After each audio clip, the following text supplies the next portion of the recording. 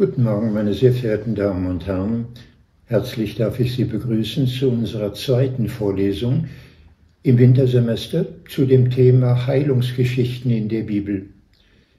Sie haben von der letzten einführenden Vorlesung noch in Erinnerung, dass Jesus im Neuen Testament bezeichnet wird als der Heiland, als derjenige, der Kranke im Vertrauen auf Gott zur Gesundheit zurückbegleiten kann. Wie er das tut, ist oft verbunden worden mit magischen Erwartungen, mit Wunderzeichen, die in die Natur eingreifen und alles in gewissem Sinne auf den richtigen Weg zwingen. So aber ist es nicht. Was wir wirklich erleben, ist die Veränderung einer Sichtweise. Jesus ist der Heiland, indem er mit einem anderen Wort aus der Frömmigkeitstradition als der Erlöser gilt und erlöse uns von dem Übel. Das ist, worum wir beten in jedem Vater unser. Und was Jesus getan hat, ist, dass er uns Gott als eine väterliche oder mütterliche, jedenfalls liebevolle Macht im Hintergrund unserer Existenz zurückbringen wollte. Das tatsächlich ist unsere Befreiung, die Änderung in allem. Und was wir in den Heilungsgeschichten, vor allem im Neuen Testament, über die Art Jesu zu denken, zu wirken, zu reden, lernen können, ist diese Sichtveränderung.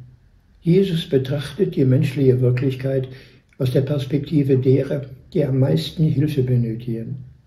Das ist eine fundamentale, absolute, revolutionäre Änderung von allem, was wir gewohnt sind zu tun. Wir sitzen nicht auf dem Kutschbock als die Herrschaften, die auf ihre Untertanen herunterschauen oder über sie hinwegfahren. Wir sehen aus der Perspektive der Bedürftigen, was sie benötigen und versuchen darauf zu antworten mit unserer ganzen Existenz. Diese Fähigkeit haben wir Menschen auch und sie ist tief verankert, nur wir nutzen sie sehr wenig, wir überlagern sie mit Selbstdurchsetzungsansprüchen, Machtansprüchen, Geldgier, politischen Maßnahmen, der Stärke, der Demonstration, der Abschreckung, dem ganzen Wust des Irrsinns, den wir für normal erklärt haben in der menschlichen Geschichte. Aber dann mitunter, jetzt im Spätherbst, treffen Sie Menschen, die anders handeln. Mitunter sind es Frauen. Sie treffen auf der Straße ein Eichhörnchen, das krank ist. Es kann sich kaum bewegen. Also nehmen Sie es mit nach Hause, bringen es zum Tierarzt und möchten, dass es lebt. Ein kleines, hilfsbedürftiges Tier. Oder einen streuenden Hund, eine Katze, die man ausgesetzt hat. So etwas ist eine Mütterlichkeit, die sich sogar über die menschlichen Grenzen hinaus bewegt und alles umfasst, was fühlbar ist und fühlen kann. Eine Universalität der Liebe aus der Perspektive derer, die gerade Hilfe nötig haben in ihrem Leid. Diese Änderung ist die ganze Botschaft Jesu. Und dafür in Anspruch nimmt er eine Überzeugung, die uns bei der Lektüre der Zeitung oder beim Hören der Nachrichten leider Gottes nur sehr selten kommen kann. Es wäre möglich, dieser Welt zu begegnen mit eben dieser alles ändernden Perspektive. Was brauchen die Menschen wirklich? Würden wir uns so fragen, hätten wir eine andere Umgangsform miteinander, eine andere Regierungsform, ändert sich die Welt, würde sie erlöst vom Bösen, käme das Reich Gottes. Alles, was Jesus verkörpert, liegt in diesem Sichtwechsel. Und dafür stehen Geschichten, die wir die Heilungsgeschichten im Neuen Testament nennen. Vielleicht nehmen wir zur Erläuterung noch hinzu, was Sie in früheren Vorlesungen bereits gehört haben, die Worte der Bergpredigt. In den sogenannten Seligpreisungen, die in der katholischen Kirche am 1. November, am Tag von Allerheiligen, pflichtgemäß verlesen werden, heißt es, nicht selig sind, ich übersetze lieber mit richtig leben die Menschen, die ihre Armut und Armseligkeit kennen und anerkennen. Die werden sich augenblicks wie Verwandte vorkommen bei Menschen, die gleichermaßen in ihrer Armut nicht anders wissen, als um Hilfe zu suchen und zu betteln. Richtig leben die Menschen, die noch weinen können, schreibt Lukas, die Trauernden, sagt Matthäus. Menschen, die Mitleid haben, können nicht wirklich Böses tun. Menschen, die mitfühlend sind, die Empathie haben, sind augenblicklich verbunden mit dem Leid anderer Menschen. Und die leben richtig, meint Jesus. und in unseren heutigen Tagen fast provokativ. Richtig leben die Menschen, die auf Gewalt verzichten. Nur denen kann das Land, das Gott verheißen hat, gehören. Und weiter noch, richtig leben die Menschen, die fähig sind, Frieden zu bringen und zu vermitteln. Das sind die wahren Kinder Gottes. Dies im Ohr hören wir jetzt eine Geschichte aus dem Markus-Evangelium im Kapitel 2, damit Sie es aufschlagen können, wenn Sie zu Hause unsere Sendung verfolgen. Ein wenig muss ich noch dazu sagen, dass Markus historisch der früheste Evangelist ist. Matthäus und Lukas haben ihn selber, das Markus-Evangelium, als schriftliche Quelle vorlegen, bearbeiten es jeweils unterschiedlich mit verschiedenen Akzentsetzungen, fügen andere Traditionsquellen, die ihnen gemeinsam sind, aus mündlicher Überlieferung hinzu und verwenden noch Sondergut.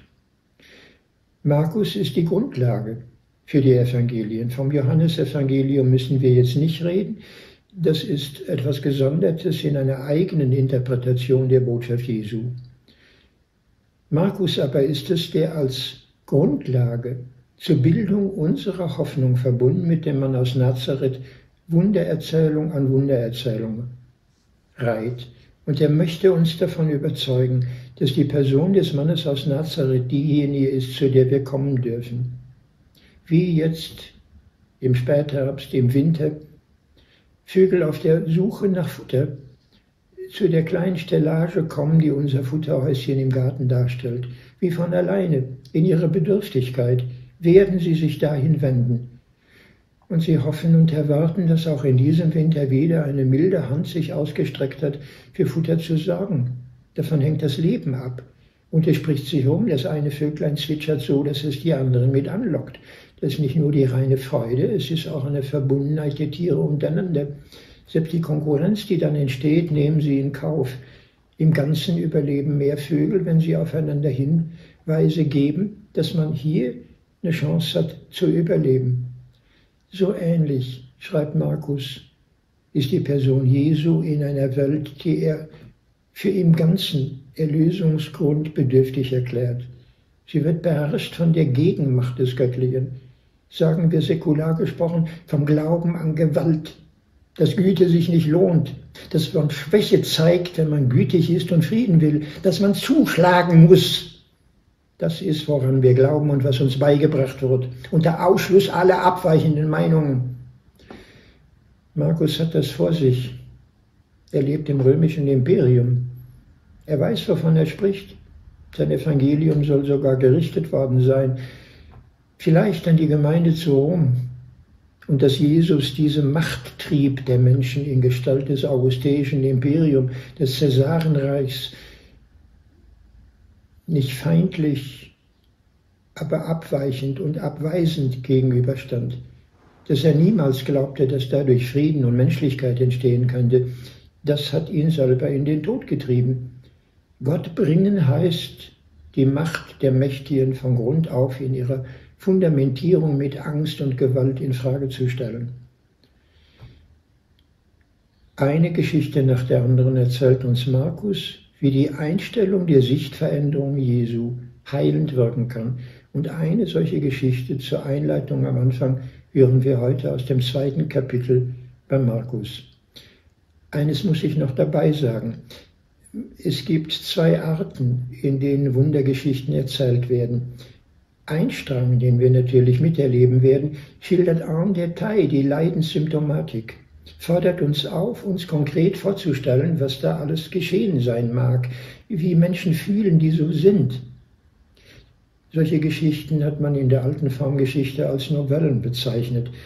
Eine breite Vorgeschichte, die auf den Höhepunkt, die Wunderheilung selber hinführt. Die Erzählung, die wir heute hören, ist viel knapper.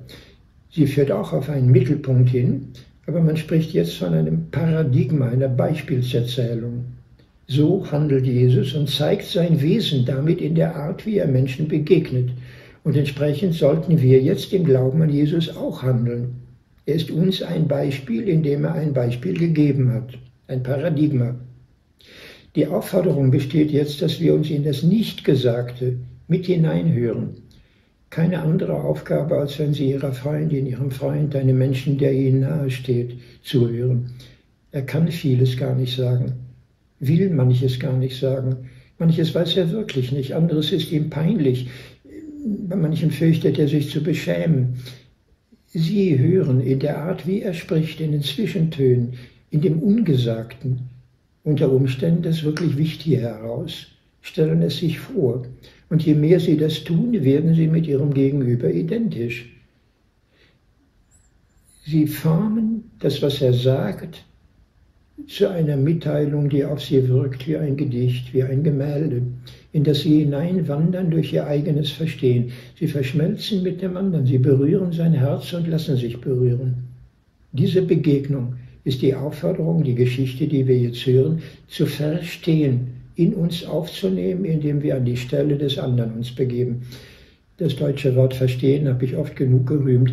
Sie wissen, es ist nicht übersetzbar. Comprendre im Französischen ist was völlig anderes. Das ist begreifen auf Deutsch übersetzt vom Lateinischen. Verstehen bedeutet Standpunkt Änderung zugunsten des Menschen, den wir verstehen möchten. Und es ist was anderes als erklären von außen nach Kausalzusammenhängen suchen, die uns begreifbar machen, comprendre, ermöglichen, um von außen her den Prozess nachzuvollziehen, wie wir heute sagen, der den anderen krank gemacht hat. Auf die Weise können wir gute Ärzte werden. Hier aber ist die Sichtweise des Ärztlichen das Entscheidende. Ärzte werden niemals einem Patienten Vorwürfe machen. Sie begreifen die kausalen Zusammenhänge. Er hat jetzt Leberschäden, weil er zu viel trinkt. Er hat Lungenprobleme, weil er zu viel raucht. Er hat Adipositas und entsprechende Probleme, weil er zu viel isst. Er hat Rückenschmerzen, weil er sich zu wenig bewegt. Das alles wissen wir.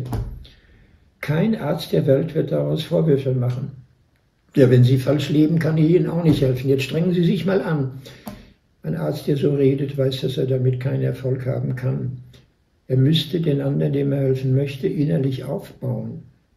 Ihr müsstet das Leben, das natürlich symptomträchtig ist, das an der Wahrheit eines gesunden Daseins vorbeiführt, aufhelfen, um zu sich selber hinzufinden.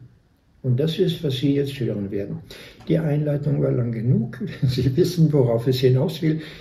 Ich trage Ihnen die Erzählung bei Markus zweites Kapitel, die Heilung des Gelähmten einmal vor. Und ich übersetze den griechischen Text so gut ich kann, möglichst wörtlich noch dabei. In ihren Übersetzungen geht man frei um. Man übersetzt, wie wir im Deutschen reden würden. Ich gebe mir die Erlaubnis nicht. Auch auf Griechisch erzählt man nicht einfach, wie man will. Was Sie bemerken können, ist ein ständiger Tempuswechsel. Mal in der Vergangenheit, plötzlich in der Gegenwart. So erzählt man auch auf Griechisch nicht. Man springt nicht dauernd in den Tempo Markus tut das aber. Es hat zum Teil einen semitisch-hebräischen Hintergrund, da sind die Zeitformen oft verschoben. Aber wenn Markus Griechisch schreibt, und das tut er, kann er nicht auf Semitisch reden, ohne dass er damit eine Aussageabsicht verbindet. Mal ist etwas, das sich begibt, als gerade schon geschehen, und dann ist eine Reaktion, und die ist jetzt in der Gegenwart. Und wir werden ihr nur zeitgleich zu Zeugen am Tatort wenn wir die Gegenwart nun bitteschön als Gegenwart auch stehen lassen und entsprechend übersetzen. Sonderbar genug bleibt die Erzählung. Ich versuche sie Ihnen zu vermitteln, aber ich trage sie erst einmal so vor, wie ich sie griechisch vorfinde. Und als er wiederum hineinging nach Kapharnaum im Umlauf der Tage, hörte man, dass er im Hause sei und es versammelten sich viele, so dass kein Platz mehr war, nicht einmal zur Türe hin. Und er sprach ihnen das Wort. Da kommen sie und bringen zu ihm einen Gelähmten, getragen von vier Leuten. Doch sie waren außerstande, ihn zu ihm zu tragen, wegen der Menge. Da deckten sie das Dach ab, wo er war, und gruben es auf und ließen herab die Pritsche, worauf der Gelähmte gelegt war. Als Jesus ihr Vertrauen sah, spricht er zu dem Gelähmten, Kind, vergeben sind deine Sünden. An der Stelle machen wir geistig eine große Pause, denn jetzt schwenkt die Szene. Alles, was wir heute Morgen verstehen müssten, geht bis dahin. Das ist der ganze Jesus. Und nun kommt, was wir auch erleben werden. Sobald wir beginnen, Jesus zu verstehen, was wird die Folge sein? Widerspruch, Infragestellung, Neid, Aggression, Unsicherheit, Verklammerung an das Wort Gottes, das wir anders haben und kennen. Denn man kann nicht von Gott sein. Ja, warum nicht? Müssen wir hören. Es waren da aber einige von den Schriftgelehrten, die da saßen und dachten in ihrem Herzen, was dieser, dieses sagt der, er lästert Gott. Wer kann Sünden vergeben, wenn nicht ein einziger? Gott. Und sogleich erkannte Jesus in seinem Geiste, dass sie so dachten bei sich selber und sagt ihnen, warum denkt ihr dieses in euren Herzen? Was ist denn leichter? Dem Gelähmten zu sagen, deine Sünden sind dir vergeben. Oder zu sagen, steh auf, nimm deine Pritsche geh nach Hause. Damit ihr aber wisst, dass der Menschensohn Macht hat, Sünden zu vergeben auf der Erde, sagt er dem Gelähmten, dir sage ich, steh auf, nimm deine Pritsche und geh zurück in dein Haus.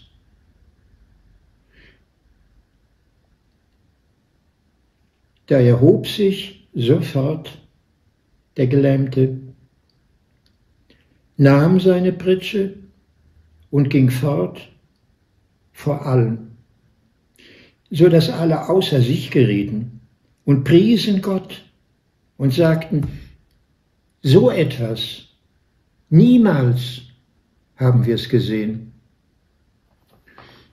Dieses unerhört Neue, das da einbricht, und alle außer sich im Preisen von Gott gegen den Einspruch der Schriftgelehrten auffordert als Zeugen einer solchen wunderbaren Heilung, müssen wir uns selber im eigenen Leben vorstellen als etwas, das nicht vor 2000 Jahren sonderbarerweise mal passiert ist, sondern uns als beispielgebende Handlung fast pflichtgemäß in Auftrag gegeben wird. Eine Schwierigkeit, sagte ich, liegt darin, dass wir das Nichtgesagte uns selber sagen und nacherzählen. Was ist es mit der Gelähmtheit? Wir setzen uns mal an die Stelle eines Menschen, der sich nicht mehr bewegen kann, der nur noch ein Objekt ist, transportiert zu werden. Vier Männer sind nötig, ihn heranzuschaffen, übers Dach herabzulassen, eine ganze merkwürdige Annäherungsform. Die Menge stört beinahe, sie ist zwar als Zeugenbereitschaft zur Verfügung, aber nicht hilfreich. Wie stellen wir uns eine solche hilflose Lähmung vor?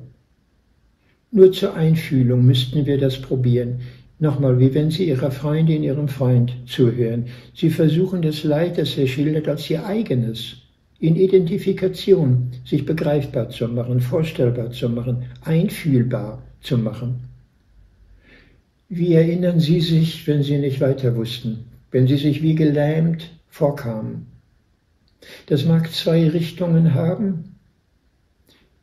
Eine in die Zukunft, eine in die Vergangenheit. Denken wir uns Lähmung als einen Zustand, den wir psychologisch beschreiben können. Wir sprechen zum Beispiel von Burnout und meinen damit, dass Menschen durch Überarbeitung, durch Überbelastung bis in eine Depression hineingerutscht sind, durch ständige Überreizung, durch ständige Überbelastung, durch ewigen Stress.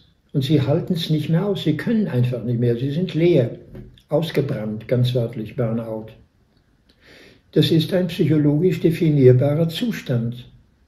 Sollte jetzt medizinisch behandelt werden. Aber wie? Wir können tatsächlich im Sinne der Geschichte nicht einfach sagen, jetzt nimm die Pritsche und verschwinde.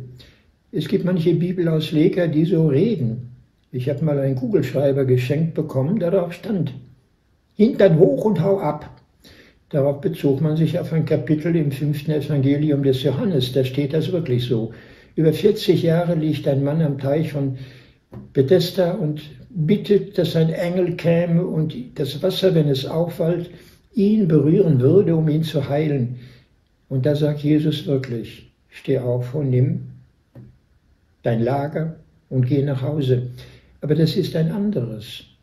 Hier merken wir, dass es völlig falsch wäre, so mit Menschen zu reden. Es kann manchmal richtig sein, Leute darauf hinzuweisen, dass sie selber Verantwortung haben, dass sie nicht dauernd in Klageton Verbindungen suchen, dass sie Eigenverantwortung tragen im eigenen Dasein und die Opferhaltung, alle kommen mir zuvor, alle drängen mich weg, mal dran geben könnten, indem sie jemandem begegnen, der ihnen zumutet, selber zu sein. Kann richtig sein, aber es lässt sich nicht befehlen. Es lässt sich nicht mit dem Kugelschreiber verordnen. Jetzt Hintern hoch. Das ist nicht die Art, wie Jesus heilt. An dieser Stelle sagt er sogar, was wäre eine grob fahrlässige Vereinfachung. Die ganze Schwierigkeit ist, den Hintergrund der Lähmung zu begreifen. Den nachzuarbeiten ist die wirkliche Aufgabe. Wir können vom Psychosomatik, von Psychologie reden, aber wir stehen zutiefst für eine Therapie der Seele. Sie mögen auch noch fragen, wie komme ich denn dahin, sowas verstehen zu wollen? Was gehen mich die Leute an, die dauernd Klage führen und leiden? Ich will das alles nicht, ich will mal vergnüglich leben, ich will das Leben genießen, ich will einfach mal unbelastet durch die Welt gehen können. Wo ist der Kuckuck? Mag der Kuckuck rufen, aber das sagt er uns nicht. Eines stimmt. Die Griechen wussten das. Um ein Arzt zu werden in innerer Berufung, muss in ihrem eigenen Leben etwas passiert sein, das sie zum Leidenden gemacht haben, um Mitleid fähig zu werden. Die Griechen konnten erzählen von ihrem Heilgott Asklepios, ein Kind, das geboren war von Licht und Dunkelheit, von Apoll und Aigle und bei dessen Geburt eine Himmelstimme verkündete, er wird die Kranken heilen und die Toten auferstehen lassen. Ich erwähne jetzt die Mythe nicht mehr länger und erzähle nur, dass Asklepios aufgezogen wurde bei einem Zwitterwesen zwischen Mensch und Tier, ein Zentauren, Chiron. Und auf den hatte Herakles ein Pfeil gesendet, der ihn schwer verletzt hatte. Ein Interpret der griechischen Mythen, Kalkereni, sieht darin so etwas wie ein griechisches Lamm Gottes, ein Verletzten, der fähig ist zu heilen, er, weil er weiß, was Leid bedeutet und ihm deshalb Mitleid ermöglicht.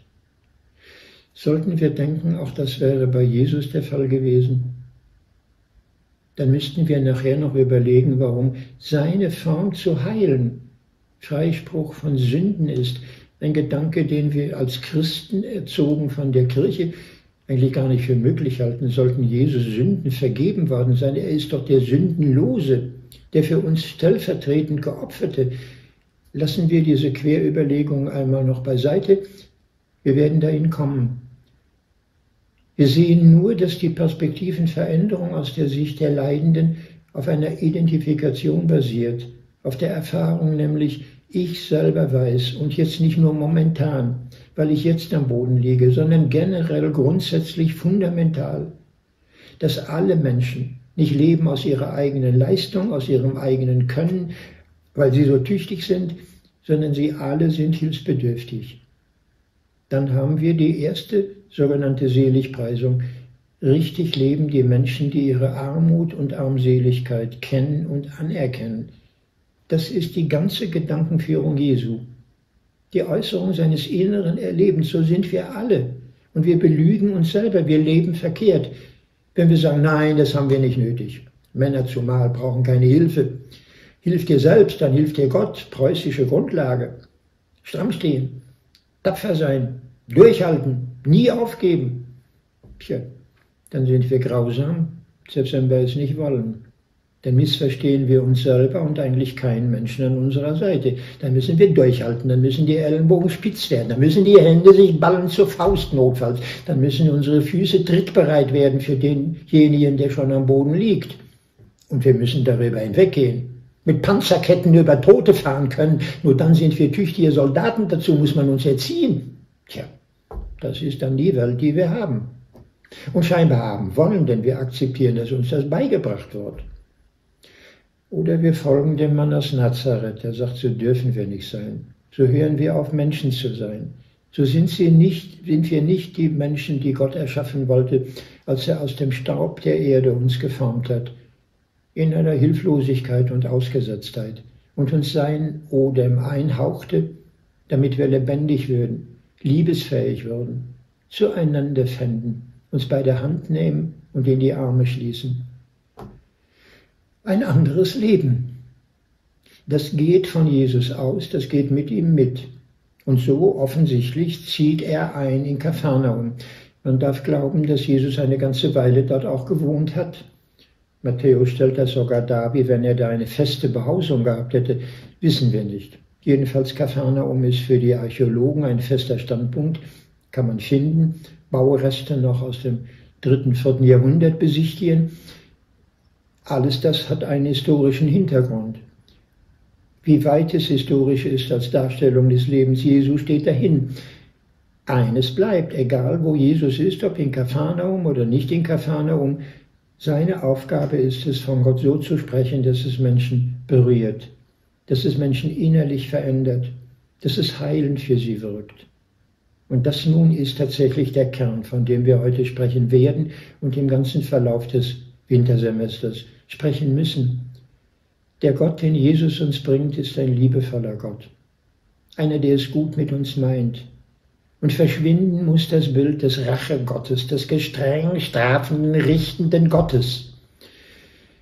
Ich sage das so scharf, weil ich immer, wenn ich Menschen begegne, die ihr Leben lang gelitten haben und noch leiden unter diesem Bild, dass man in Widerspruch zur wahren Botschaft Jesu auch in den Kirchen den Menschen schon als Kinder in die Seele gedrückt hat.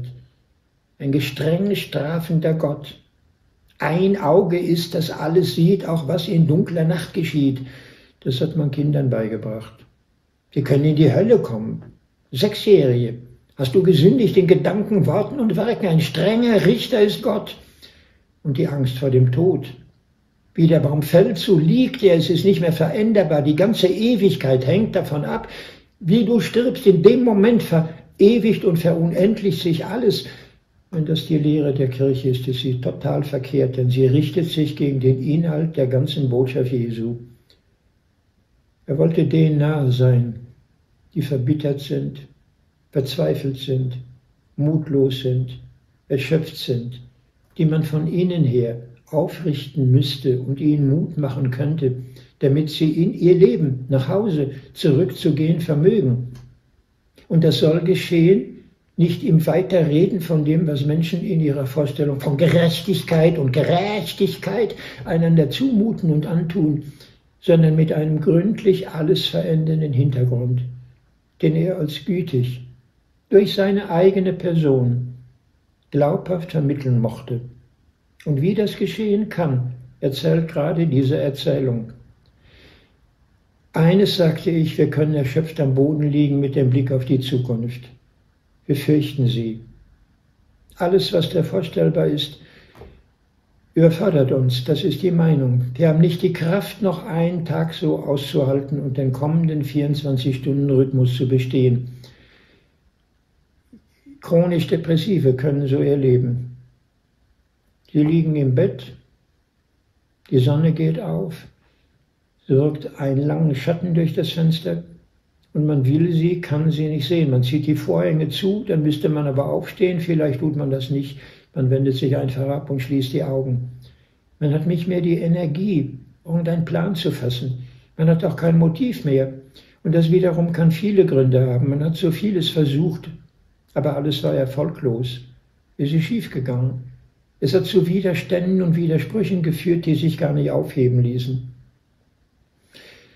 Man hat keine Hoffnung mehr.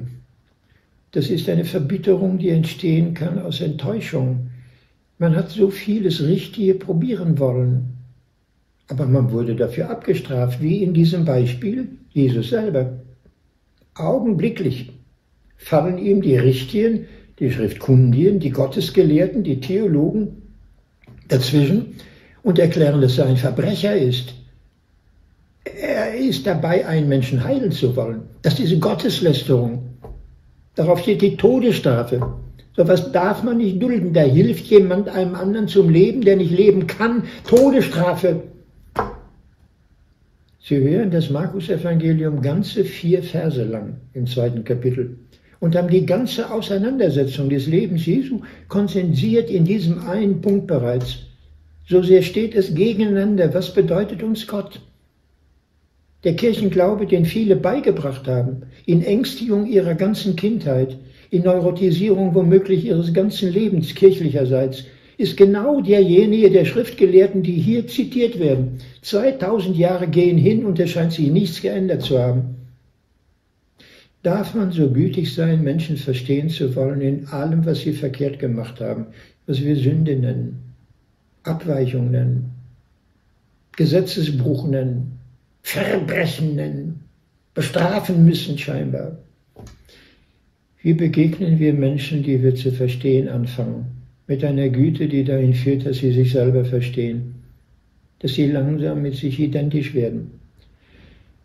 Bleiben wir noch aus den vertanen Chancen und Anstrengungen, die erfolglos geblieben sind und die in ihrer Enttäuschung nur depressiv machen können. Das ist in der Gegenwart politisch ein ganz breites Thema. Leute plädieren für den Frieden, aber dann sind sie Verbrecher. Sie möchten Frieden in der Ukraine, in Israel, im Gazastreifen, mit dem Iran, mit China. Das sind Fantasten. Das sind im schlimmsten Falle Gottes Leuchner, Gottes Schänder. Sie gebrauchen Gott in einer Art, die die Kirche nie akzeptiert hat. Da weiß man, man hat ein Recht auf Verteidigung. Man muss kämpfen, im Namen Gottes das Recht zur Macht bringen. Und das geht dann eben nur, wenn man mal Menschen tötet. Das ist der Nebeneffekt, das müssen wir. Wollen wir nicht, aber müssen wir tun. Und wir tun so effizient, dass wir inzwischen Atombomben haben, präzise im Abstand von 30 Meter genau, punktgenau. Sie werden nicht mehr abgeworfen, wir werden gelenkt. Die neue Generation von Atomwaffen, die wir anschaffen in Deutschland, den Büchel, kriegen wir geliefert. Mit F-35 Tarnkappenbombe. Wir sind dabei. Die Friedensbewegung ist dagegen, aber sie wird erleben, dass sie dagegen gar nichts tun kann. Irgendwann sagt man sich, hat das noch irgendeinen Zweck, lass es doch laufen. Ich will davon gar nichts mehr hören, ich schalte es ab, ich bin weg. Ich mache gar nichts mehr, kann gar nichts mehr. Weiß doch, dass alles umsonst ist. Das ist eine der Formen, wo man mutlos wird die Zukunft nicht mehr erleben möchte, sondern am liebsten vermieden hätte durch nicht mehr erleben müssen. Solche Depressionen sind fast von letalen Grundzügen. Man hat keine Zukunft mehr. Man will auch keine Zukunft mehr erleben. Man wird beinahe zornig, wenn man hört, es wird doch alles besser und wir schaffen es doch. Wir haben bis zum Jahr 2050 das Klima im Griff. Wir lösen alle Probleme, den Hunger in der Welt. Natürlich, äh, zufrieden kommen wir jetzt noch nicht. Jetzt äh, führen wir so Krieg, dass auch die Umwelt wieder neu gefährdet wird. Aber wir schaffen es. Man will die Lügerei nicht mehr hören. Man hat die Nase voll, die Ohren voll, das Herz voll dann denken manche apokalyptisch, besser wäre der Weltuntergang als noch ein weiter so. Man wird zornig am Ende. Und dann ist Depression, Burnout, Bettlägerigkeit, Gelähmtheit eine Umwendung. Die Welt, die man eigentlich nicht mehr verträgt, erzeugt einen solchen Widerspruch und Widerstand, dass sich der Ärger auf einen selber richtet. Man kommt sich immer kleiner vor, die Probleme immer größer, man ist ihnen nicht gewachsen.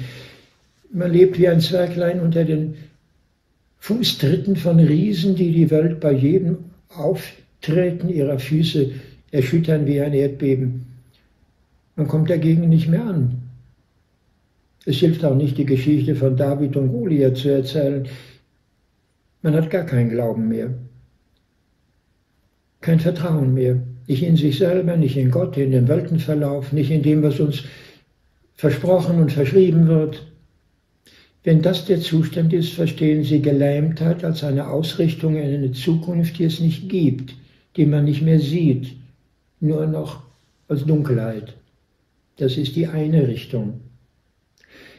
Wenn Menschen so sind und so fühlen, kann man natürlich darüber nachdenken, warum es gerade sie sind, die so fühlen und denken, Gott sei Dank möchte man meinen, sind es ja nicht alle Menschen. Es gibt auch andere, die gehen damit anders um. Die Art, die Zukunft zu sehen, können wir uns vorstellen, richtet sich nach dem, was wir schon erfahren haben. Gründet in bestimmten Zumutungen in der Vergangenheit.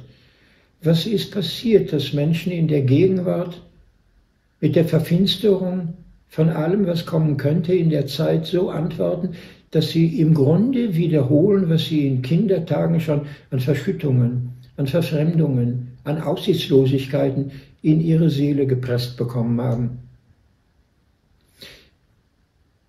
Hier ist die Rede von Vergebung von Schuld. Und das Thema müssen wir uns natürlich auch deutlich machen. Das ist eigentlich die konkreteste Angabe über den Hintergrund der Gelähmtheit dieses Mannes. Sie gründet im Erleben von Schuld, von Sünde. Schon der Begriff Sünde ist uns völlig fern. Davon darf man nicht mehr reden. In der Kirche wird er nicht verstanden. Ist ein moralischer Vorwurf. Man muss sich bessern. Im Grunde war Sünde irgendwas gepaart mit Sexualität. Da konnte man noch sündigen. Vielleicht auch mit der Steuerabrechnung. Da konnte man Diebstahl begehen. Man konnte auch den Nachbarn nicht mögen. Das lässt sich auch noch bessern vielleicht sogar die eigenen Eltern nicht mögen, dann wird es ernst. Das muss man irgendwie, die Eltern hassen darf man gar nicht, viertes Gebot. In allem hat man die Sünde verbunden mit bestimmten Geboten, den zehn Geboten oder den 613 mosaischen Gesetzesgeboten, wie die Schriftgelehrten hier. Und dagegen hat man jetzt die Moral. Man kennt die Richtschnur und man hat sich danach zu halten. Aber so einfach ist das gar nicht. Wir haben es zu tun mit Schuldvorgängen, die nicht einfach wegzuwünschen sind, deren Ursprung kaum vermeidbar ist. Ich spreche jetzt so, wie es mir jemand mal erzählt hat und wie es Ihnen selber passieren könnte. Unglücksfälle, zu denen Sie eigentlich nichts können, wenn sie geschehen. Sie haben das nicht gewollt. Sie hätten sogar vor einem Strafgericht die Anerkennung, dass das ein Unfall war. Nichts, was Sie selber durch eigenes Zutun herbeigeführt haben. Ein Mann erzählte mir mit Tränen in den Augen, er weiß nicht, wie es gekommen ist. Es war auf einer Kreuzung. Es muss an ihm gelegen haben. Irgendwas hat er falsch gemacht. Er ist sogar mit hoher Geschwindigkeit in das Auto einer Frau hineingefahren. Glasbruch. Die Frau musste ins Krankenhaus. Und seine größte Not war, ich muss sie besuchen, ich muss sie besuchen. Hoffentlich hat sie keine Verletzungen im Gesichtsbereich. Ich hätte sie verunstaltet für ihr Leben. Mein Gott, was habe ich denn gemacht? Das Problem ist, es ist nur in Anführungsstrichen ein Unfall.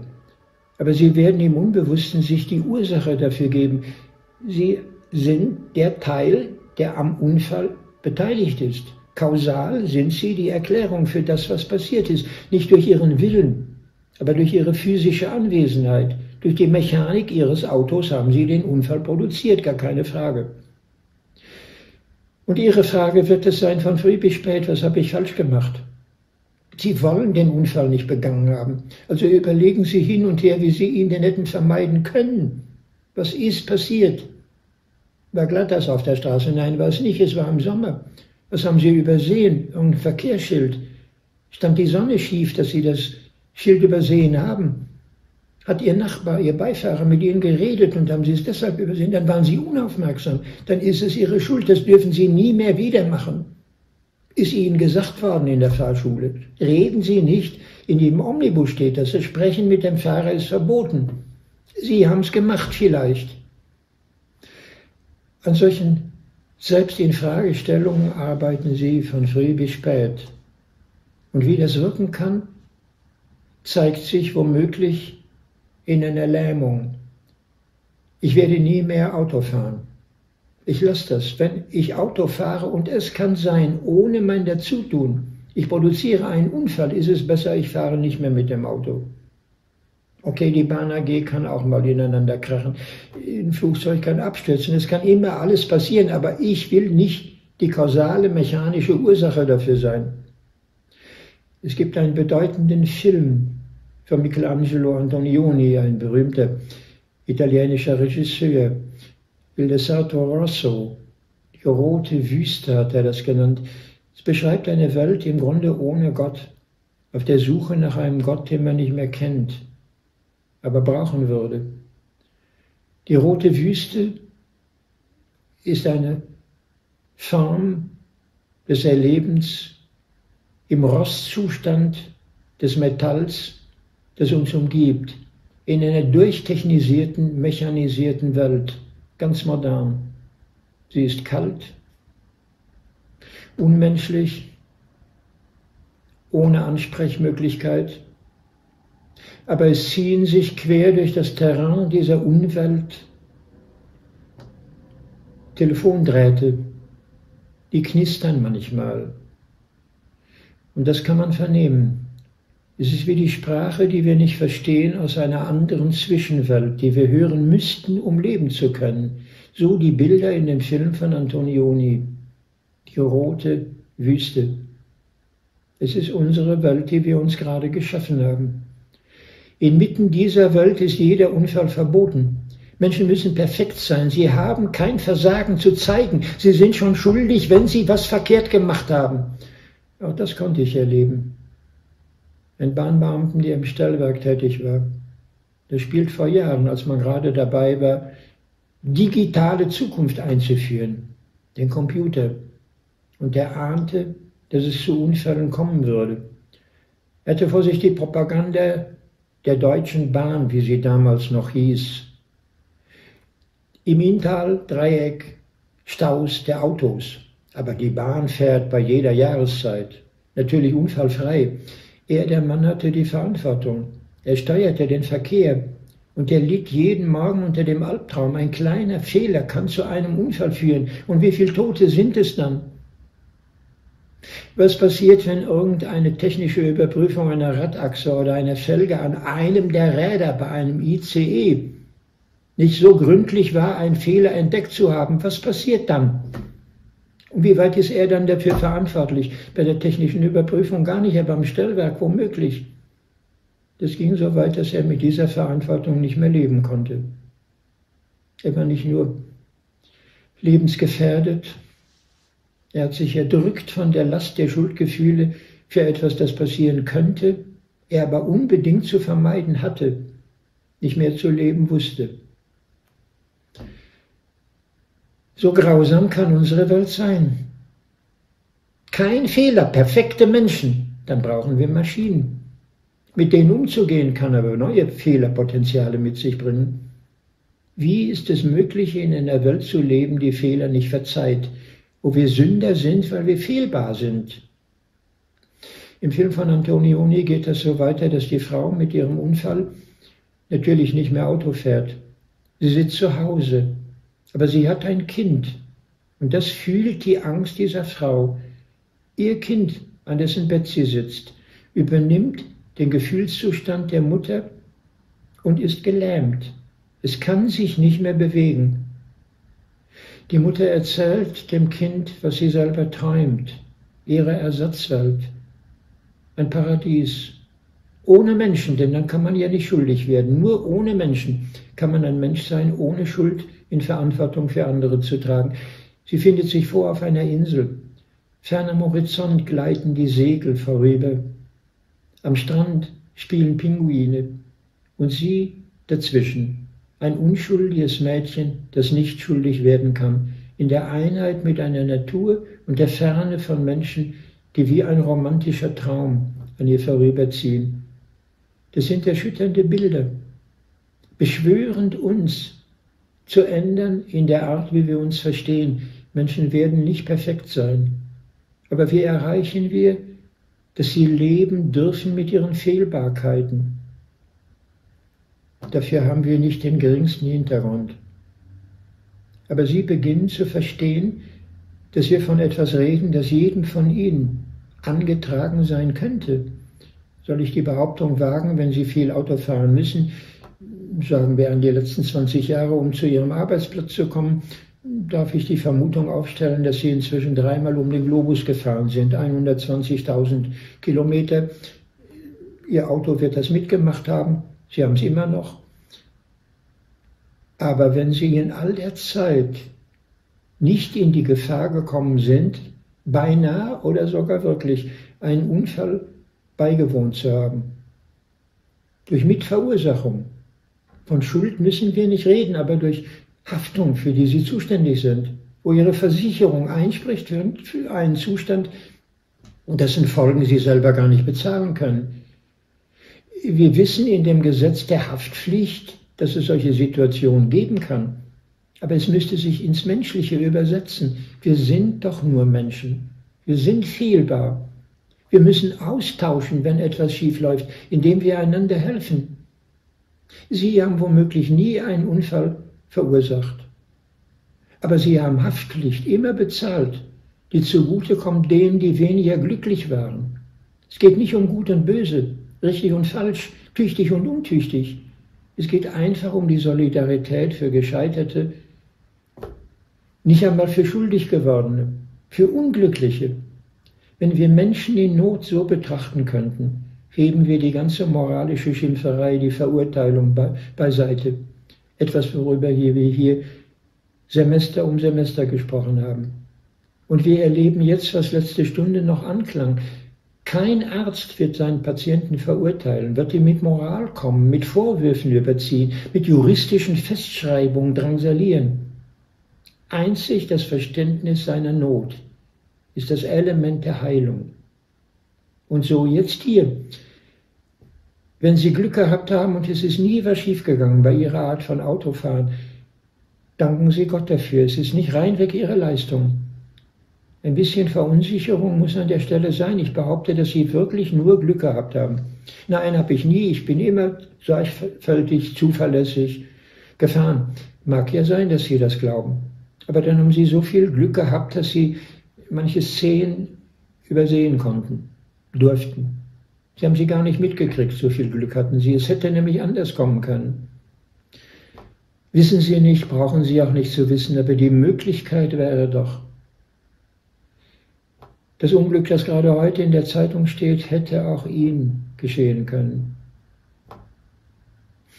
Dann brauchen Sie Ergänzung durch andere, Hilfsbereitschaft andere. Für Autofahrer ist das so die gesetzliche Grundlage. Ohne Haftpflichtsicherung dürfen sie nicht fahren. In der Gewissheit, dass jedem alles passieren kann, brauchen sie die Solidarität aller. Im Übrigen auch bei der Krankenversicherung ist nicht Amerika. In Amerika haben wir das anders. Da können Sie auf den Stufen des Krankenhauses sitzen als todkrank. Sie werden nur aufgenommen ins Krankenhaus, wenn Ihre Kreditkarte zeigt, dass da noch was drauf ist, im Umfang der Behandlungsgebühren, die nötig sind, damit man sich ihrer annimmt. Wir haben ein demokratisches, freiheitsliebendes Land jenseits des Transatlantik. In Deutschland haben wir das Gott sei Dank ein Stückchen anders. Jeder von uns krank kann krank werden. Und dann braucht jeder Hilfe in einem Umfang, den er womöglich selber nicht bezahlen kann.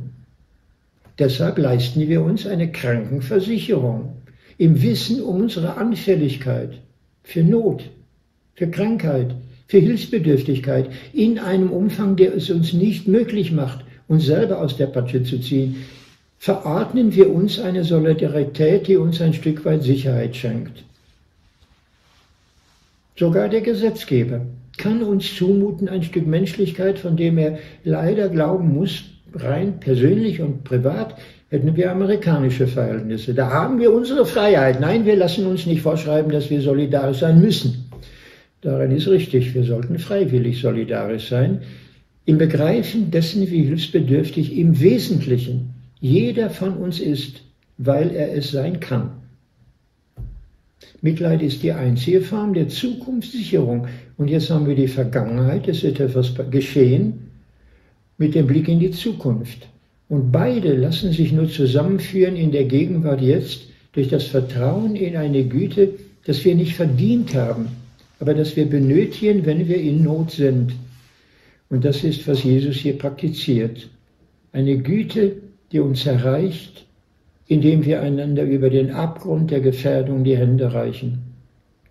Das bringt er hier mit den Worten, Deine Sünden sind dir vergeben. Alles, was war.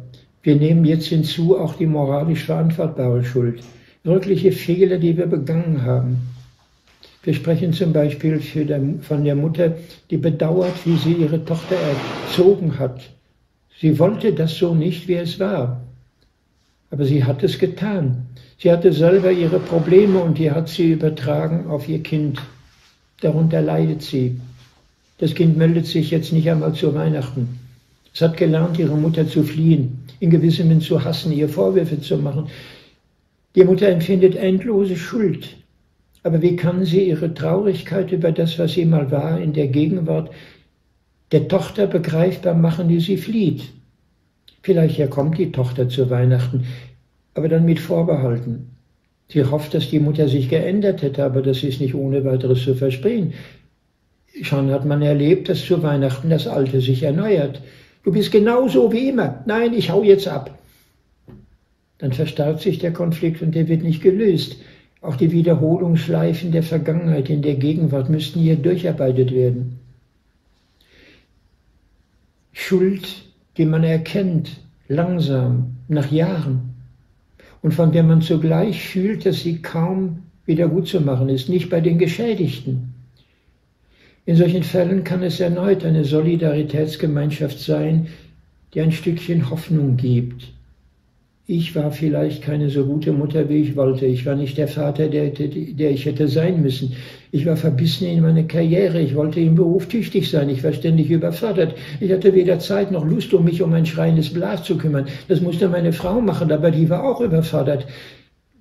Muss man viel Fantasie haben, um sich Tragödien vorzustellen, die wirklich in Schuld geführt haben, die den Begriff Sünde verdienen?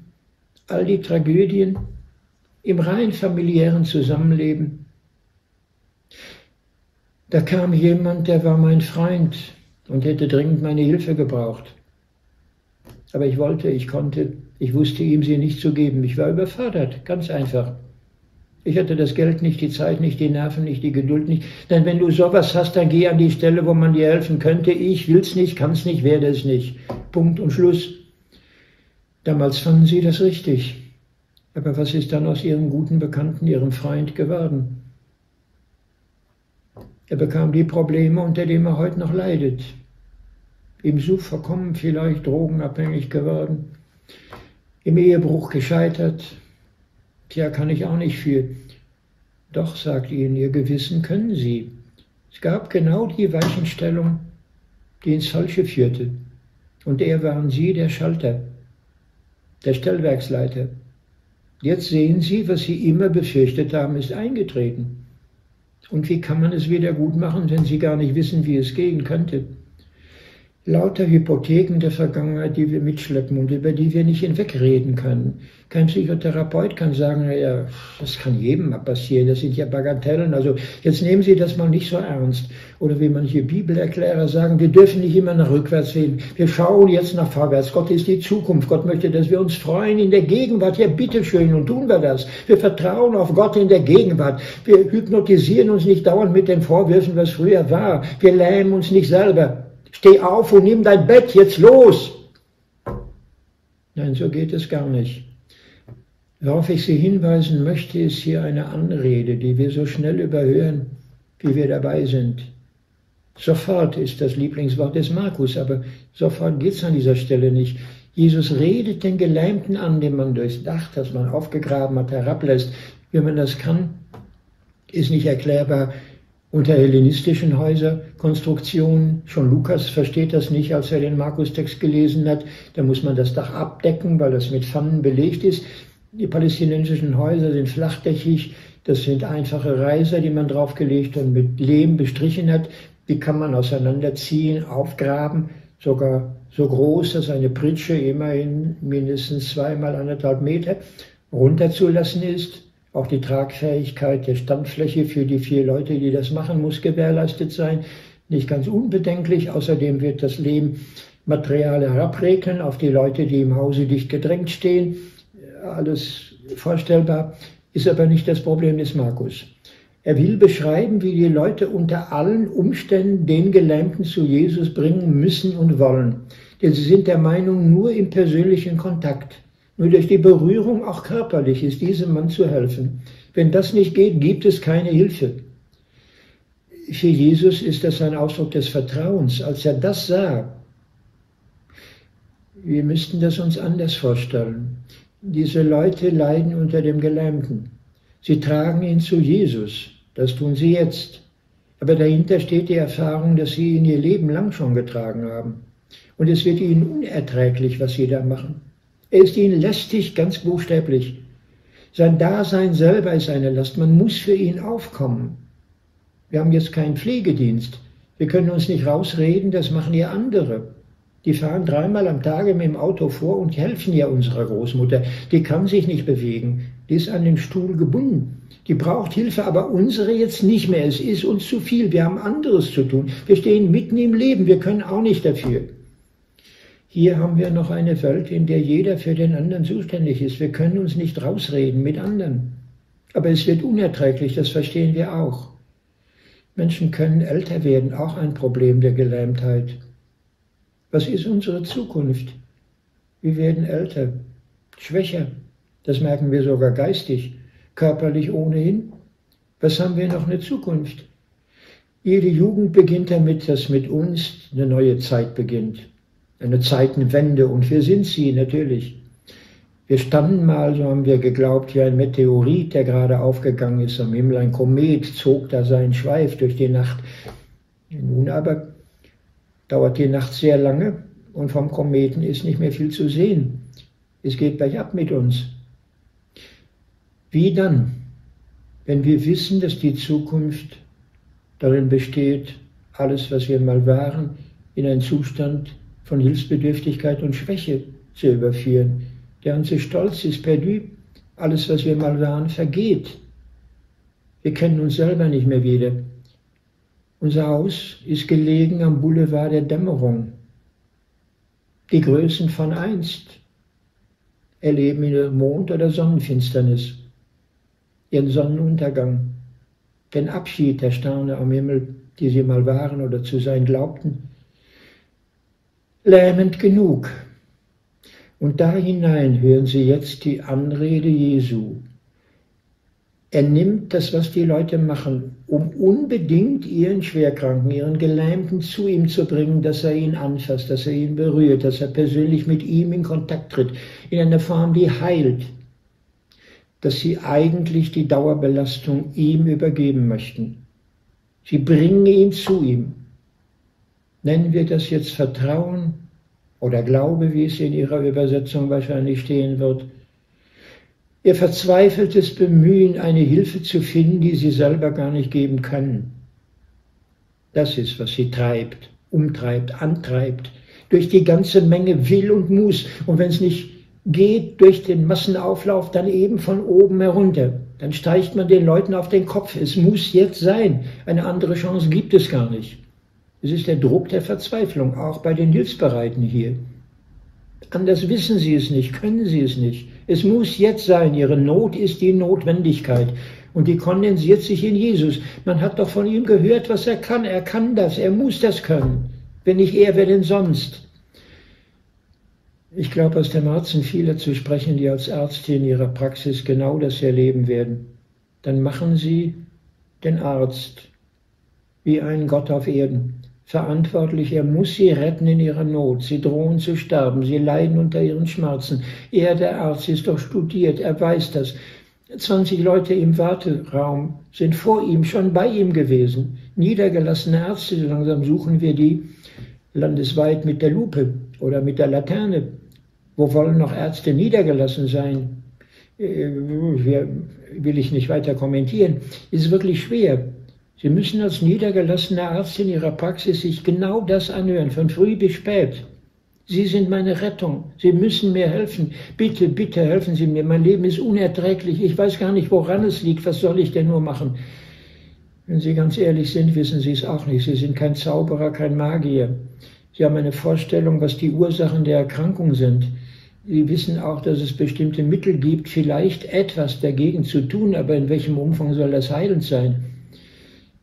Selbst die Medikamente sind lange erprobt worden, bis auf die Pharmaindustrie mit BioNTech gegen Corona haben wir normalerweise Medikamente, die über Jahre hin erprobt wurden. Brauchen wir auch nicht mehr, müssen wir können. Können wir aber vielleicht nicht. Manche Ärzte zweifeln, ob das nicht neue Schäden anrichtet. Der Zwang der Hilflosigkeit kann auch für den Arzt erdrückend sein. Und er ist dann auch nur ein Mensch, der sich sagen muss, ich kann es versuchen, aber nicht versprechen. Ich stehe zu Ihnen in Ihrer Hilfsbedürftigkeit und ich versuche zu helfen, soweit ich es vermag. Sicher, ich kenne mich ein bisschen besser aus als Sie selber womöglich. Wir müssen zusammenarbeiten. Und ich weiß auch, Sie müssen mir jetzt mal vertrauen, denn wem sonst? Aber wie weit ich vertrauenswürdig bin, behalte ich mir mal vor im Gewissen des eigenen Urteils. Ich glaube mal, dass es helfen kann. Sie gehen jetzt mal in die Apotheke, wir probieren es. Viel mehr können Sie ehrlicherweise kaum sagen. Aber sagen werden Sie mit unerschütterlicher Zuversicht, ich verschreibe Ihnen das, Sie nehmen das dreimal am Tage in der Dosierung. Müssen Sie machen. Werden Sie auch machen. Gehorsam. Im Vertrauen auf den Arzt, der es wissen muss. Das ist das Vertrauen, von dem hier die Rede ist. Ein blindes Vertrauen in Not und in Angst und in Hilfsbedürftigkeit. Der Unterschied aber ist absolut. Sie sind nicht der Gott in Weiß. Sie sind nicht allmächtig. Sie sind und bleiben nur ein Mensch.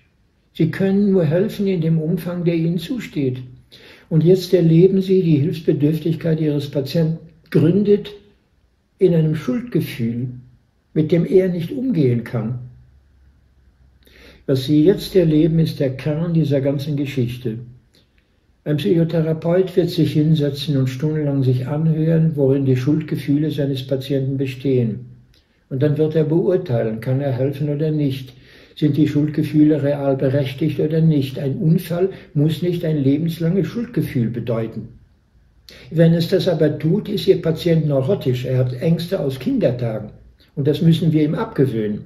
Er darf nicht dauernd kopfhängerisch in der Vergangenheit bleiben. Jetzt mal nach vorne werden Sie dann befehlen. Aber so wird es nicht gehen. Wenn Ihr Patient so ist, ist er so. Er wird sich sogar weigern, mit Ihnen zu sprechen über Schuldgefühle, die ihm peinlich sind. Das Wichtigste ist für ihn unaussprechlich. Und das ist ein Zug in dieser Erzählung, den Sie hoffentlich nicht überhört haben. Der Patient, den Jesus hier behandelt, redet selber kein einziges Wort. Er ist stumm. Zu seiner Lähmung gehört die Unaussprechlichkeit der Schuldgefühle, die er mitbringt. Und das sieht Jesus. Und zwei Arten gibt es, darauf so einzugehen, dass es wirklich heilend und heilsam ist. Das eine, Jesus redet ihn an. Kind, sagt er. Wie wenn er sein Vater wäre, seine Mutter wäre, wie wenn er die Hilfsbedürftigkeit fast in einem quasi infantilen Zustand sähe. Jede Krankheit, können wir auch psychologisch begründen, hat so etwas an sich wie Flucht in diesen kindlichen Bedürfniszustand. Regression, sagen die Psychologen. Infantilität erleben wir. Es genügt, dass Sie mit was immer es sei, tagelang im Bett liegen, dann verspreche ich, dass die weißgekelkten Wände ringsum an ihrem Krankenbett sich in eine Leinwand für Wunschträume verwandeln. Sie haben zum ersten Mal seit langem Gelegenheit, über sich nachzudenken. Was war bisher? Wer bin ich jetzt? Was steht mir bevor? Sie beschäftigen sich mit sich selber, was sie vielleicht jahrelang gar nicht getan haben, gar nicht gewollt haben. Jetzt kommt es von alleine. Und das Nachdenken über sie selber führt zu Einsichten, spiegelt sich an den kalkgeweißten Wänden. projiziert die Bilder ihrer Vergangenheit und ihrer Zukunft. Und sie schauen nach rückwärts und sie sehen darin abgebildet das, was im Gegenverkehr auf sie zukommt. Beides verschränkt sich und umklammert eine Gegenwart, aus der sie kaum entrinnen können. Dann sehen sie Gestalten, die ihre Hoffnungslosigkeit heute beim Blick in die Zukunft damals schon begründet haben. Die Entmutigung war in Kindertagen womöglich ihr Alltag. Das kann auf Banalitäten basieren. Ich musste in die Schule gehen, da war ich acht Jahre alt, Grundschule.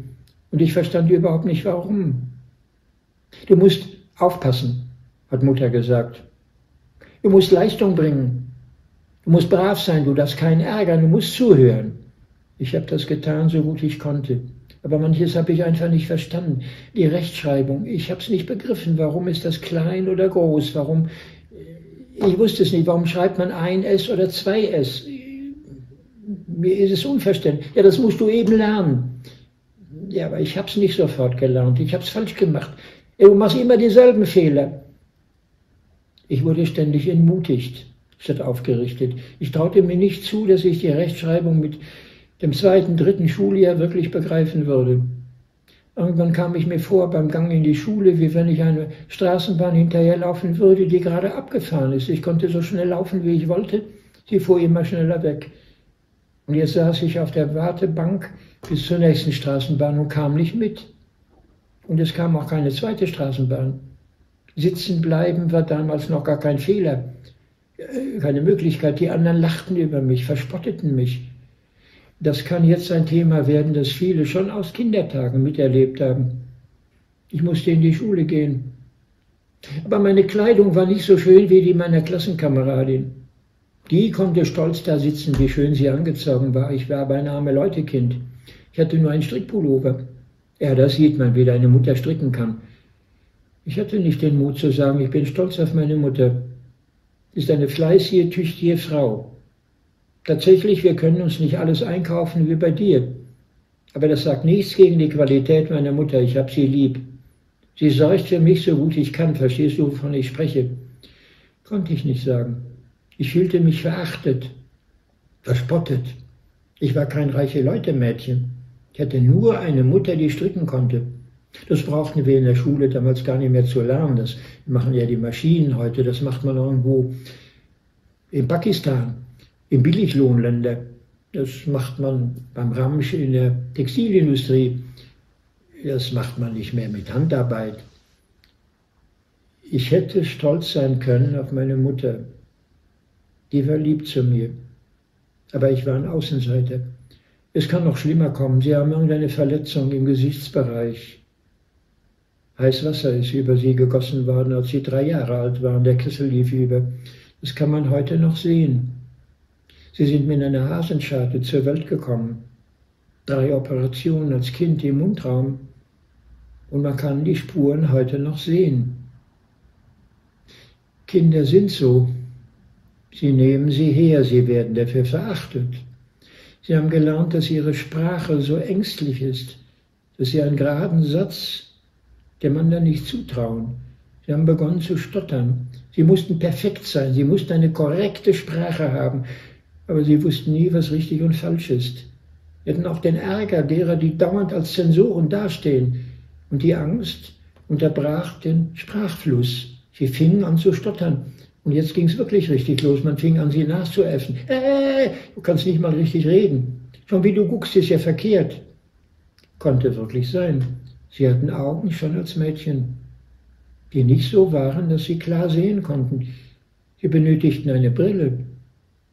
Und konnte sein, sie brauchten eine Brille mit einer Dioptrie, die sich so vorwölbt, dass das Gelächter wieder anfing. Du siehst ja aus wie eine Eule. Ja, so wie du kann man auch nicht aussehen. Ja, Brillenschlange. Darf man noch in eine Schule gehen, wo man jeden Morgen verspottet wird? Wo am Klasseneingang die anderen stehen, die Richtigen, die Klarsichtigen, die Reichen, die Guten, die Tüchtigen. Man möchte sich verkriechen. Man ist ganz draußen. Man ist abgeschrieben, ganz buchstäblich. Und diese Hypotheken arbeiten ständig weiter. Man ist nie gut genug. Man kann sich gar nicht sehen lassen, man kann nicht nur nicht sehen, man darf sich auch nicht sehen lassen. Man ist verachtenswürdig. Das ist das Kindererlebnis. Und es liegt ganz nahe, dass es so weiterarbeitet. Wo hätten wir eine Lehrerin, einen Lehrer, der das Mobbing in der Klasse unterschwellig zwischen den Reihen der Schule, der Sitzordnung im Klassenraum begreift und abarbeitet, dann müsste er ein solches Mädchen, einen solchen Jungen anreden, wie Jesus es hier tut. Kind, den Hilflosen im Bett, den Hilflosen im Klassenraum, den Ausgesetzten am Straßenrand anreden mit Kind. Jesus sagt nicht mein Kind. Er sagt nicht, ich bin dein Vater, deine Mutter. Aber doch liegt das da drin. Ich anerkenne deine kindliche Hilfsbedürftigkeit und der wende ich mich jetzt zu, ob er es will oder nicht. Er beginnt den Vater zu ersetzen, den es damals so wie nötig nicht gab. Er tritt an die Stelle der Mutter, die so wie sie gerne hätte sein wollen, nicht sein konnte. Er übernimmt die Rolle der Eltern, die in ihren Defiziten das Problem der Gelähmtheit heute nach verursacht haben. Kann er das? Ist er der Gott in Weiß? Schreitet er allmächtig über die Erde? Eigentlich haben wir ihn dazu gemacht. Unser Christus ist der Sohn Gottes, er ist der fleischgewordene Gott unter uns auf Erden. Er ist inkarniert als Gottheit. Er vereinigt in sich die göttliche und die menschliche Natur. All das sind die Glaubenssätze der Kirche. Die verstehen wir nicht und sie dienen uns perfekt als Ausrede. Wir sind keine Götter in Weiß, wenn Jesus Gottes Sohn war, in dem Sinne, dass er mit göttlicher Natur und Allmacht begabt über die Erde ging, ja, dann brauchen wir keine Gelähmten mehr aufzuwecken.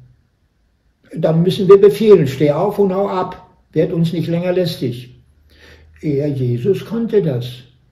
Aber eben weil er Gottes Sohn war. Das sind wir nicht und deshalb brauchen wir es nicht zu tun. Wir können es gar nicht tun. Es wäre ja Gottes Lästerung, es wäre ja Vermessenheit, uns zuzutrauen, wir könnten das.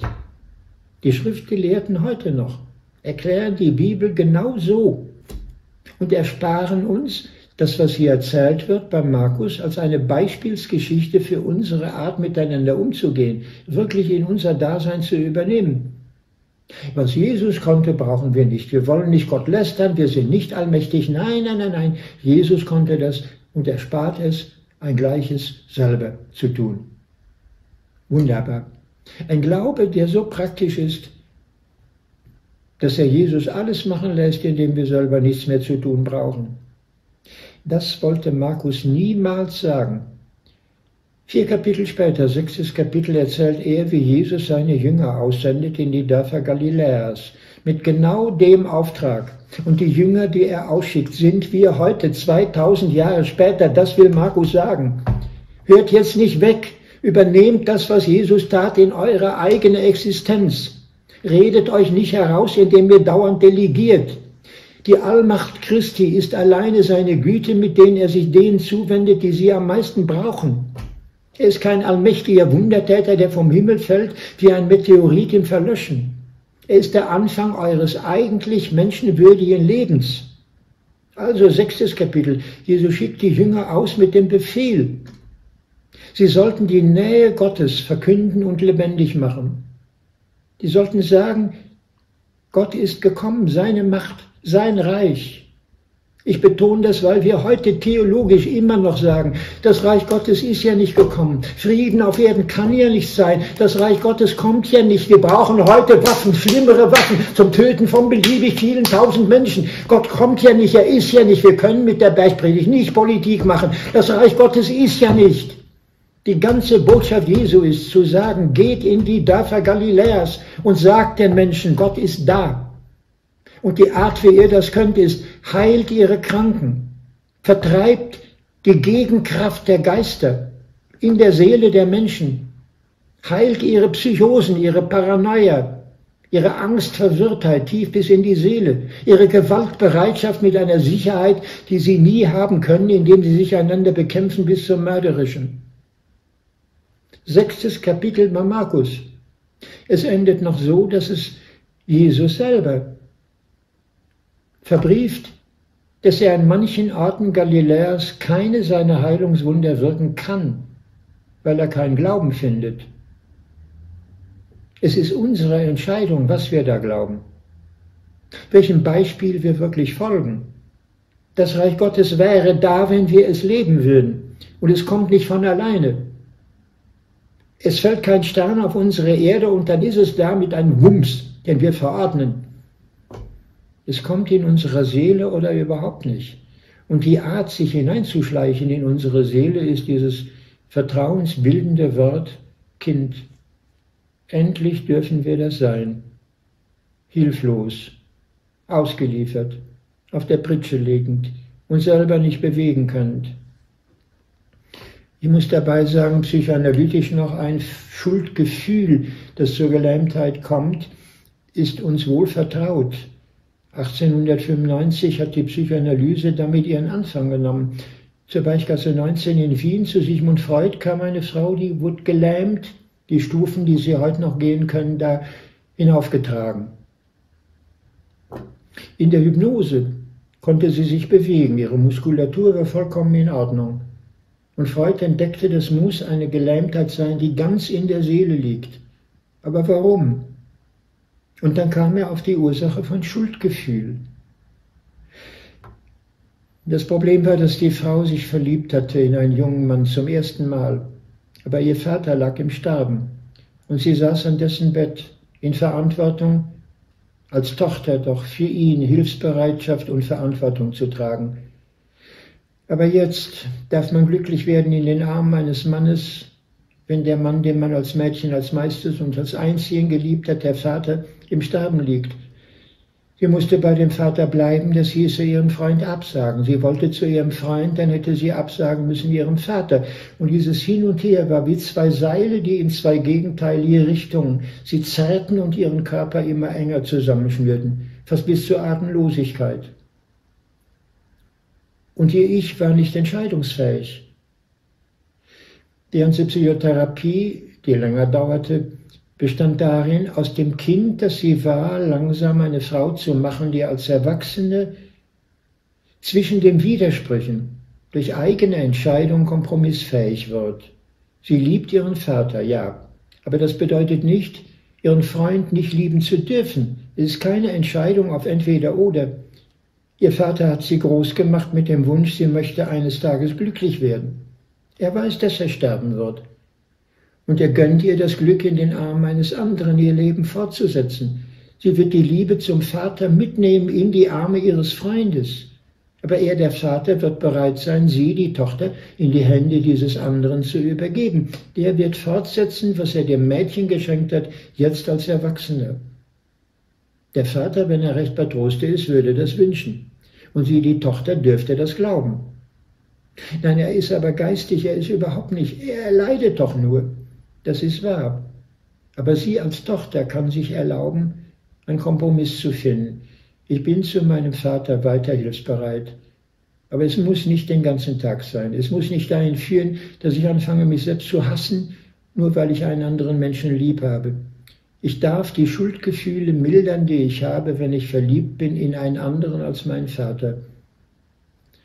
Und ich darf dazwischen, in der Mitte, einen Kompromiss schließen. Ich bin für meinen Geliebten da und ich darf glücklich sein. Und umso mehr, als ich an Kraft da gewinne, kann ich da sein für meinen Vater, der mich auch helfen möchte.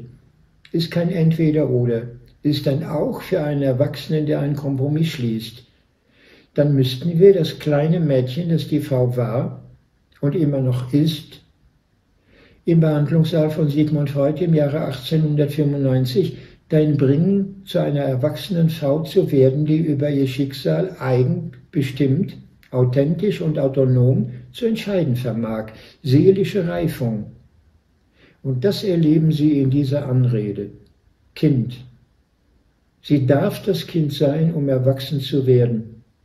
Und die Bedingung von allem, anders noch als in der Psychoanalyse, aber vermittelt denn doch, liegt in einer Generalabsolution. Dieser Gelähmte kann nicht einmal seinen Mund bewegen, um zu sagen, was ihm fehlt, was er möchte. Er ist nicht nur ein Stotternder, er ist ein total Verstummter. Er hat kein Recht, sich weiter zuzumuten. Die Leute, die ihn loswerden wollen, dürfen nicht mehr belastet werden durch sein Dauerklagen. Ich möchte aber Hilfe, ich brauche aber Hilfe, ihr seht doch, was ich brauche, ich benötige euch doch. Halt die Schnauze, werden sie ihm gesagt haben. Wir können es nicht mehr hören. Also wird er auch nicht mehr sprechen. Er wird sich schuldig vorkommen für seinen Krankheitszustand. Er will doch die anderen überhaupt nicht belasten. Er ist aber nur eine Last. Wie kommt man aus diesem Zustand frei?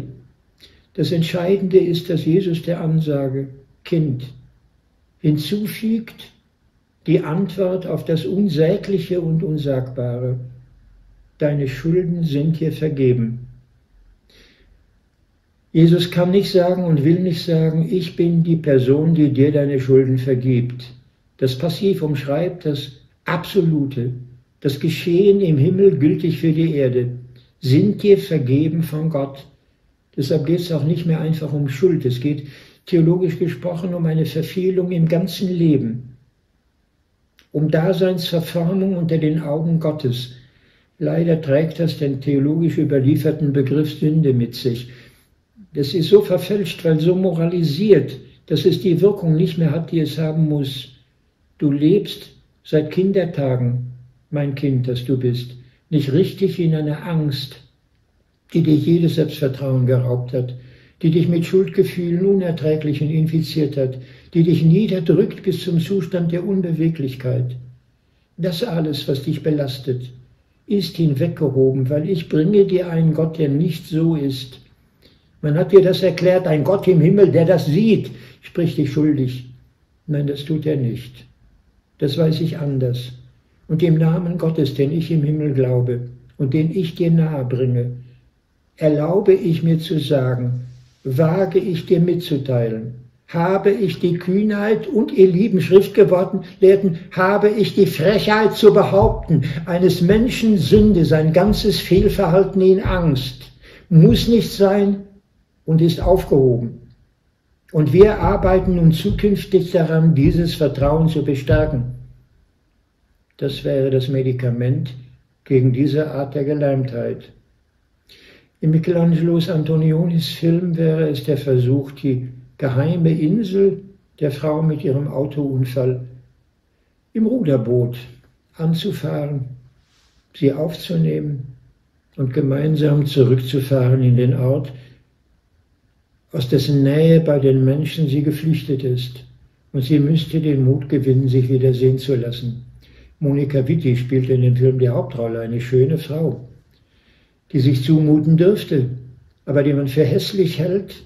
Und sogar die Kritiker in dem Film sagten, warum muss ausgerechnet Monika Witti diese Rolle haben? Man kann sie doch nicht sehen. Es gibt andere Schauspielerinnen, Sofia Loren in Italien, hätte ja sein können. Michelangelo Antonioni wollte eine Frau vorstellen, der man glaubt, dass sie leiden kann, dass sie umkommt vor Schuldgefühlen, dass sie Hilfe benötigt, und so geht es dann weiter. Was Jesus versucht mit der Anrede Kind, ist ein Freispruch, der uns erlaubt, was jetzt?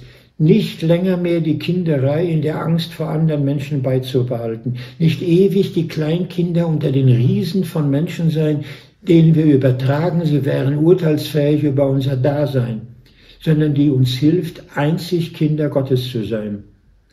Haben Sie das noch in Erinnerung vom Anfang? die gewaltlos bleiben, die Frieden in die Welt bringen, die in der Güte des Wissens ihrer eigenen Armut und Armseligkeit sind, die heißen Kinder Gottes. Das geschieht hier. Im Wissen unserer eigenen Hilfsbedürftigkeit können wir nicht anders, als im Leiden über uns selber mitleidig zu werden an anderen. Ich versprach Ihnen, dass wir dabei imstande sind, auch die Identifikation Jesu mit unserem eigenen Dasein noch ein Stück zu verlängern. Ich sagte, wir halten Jesus für die Person, die sündenlos ist, die gar nicht sündigen konnte. Das erzählt nicht gerade Markus, aber er auch.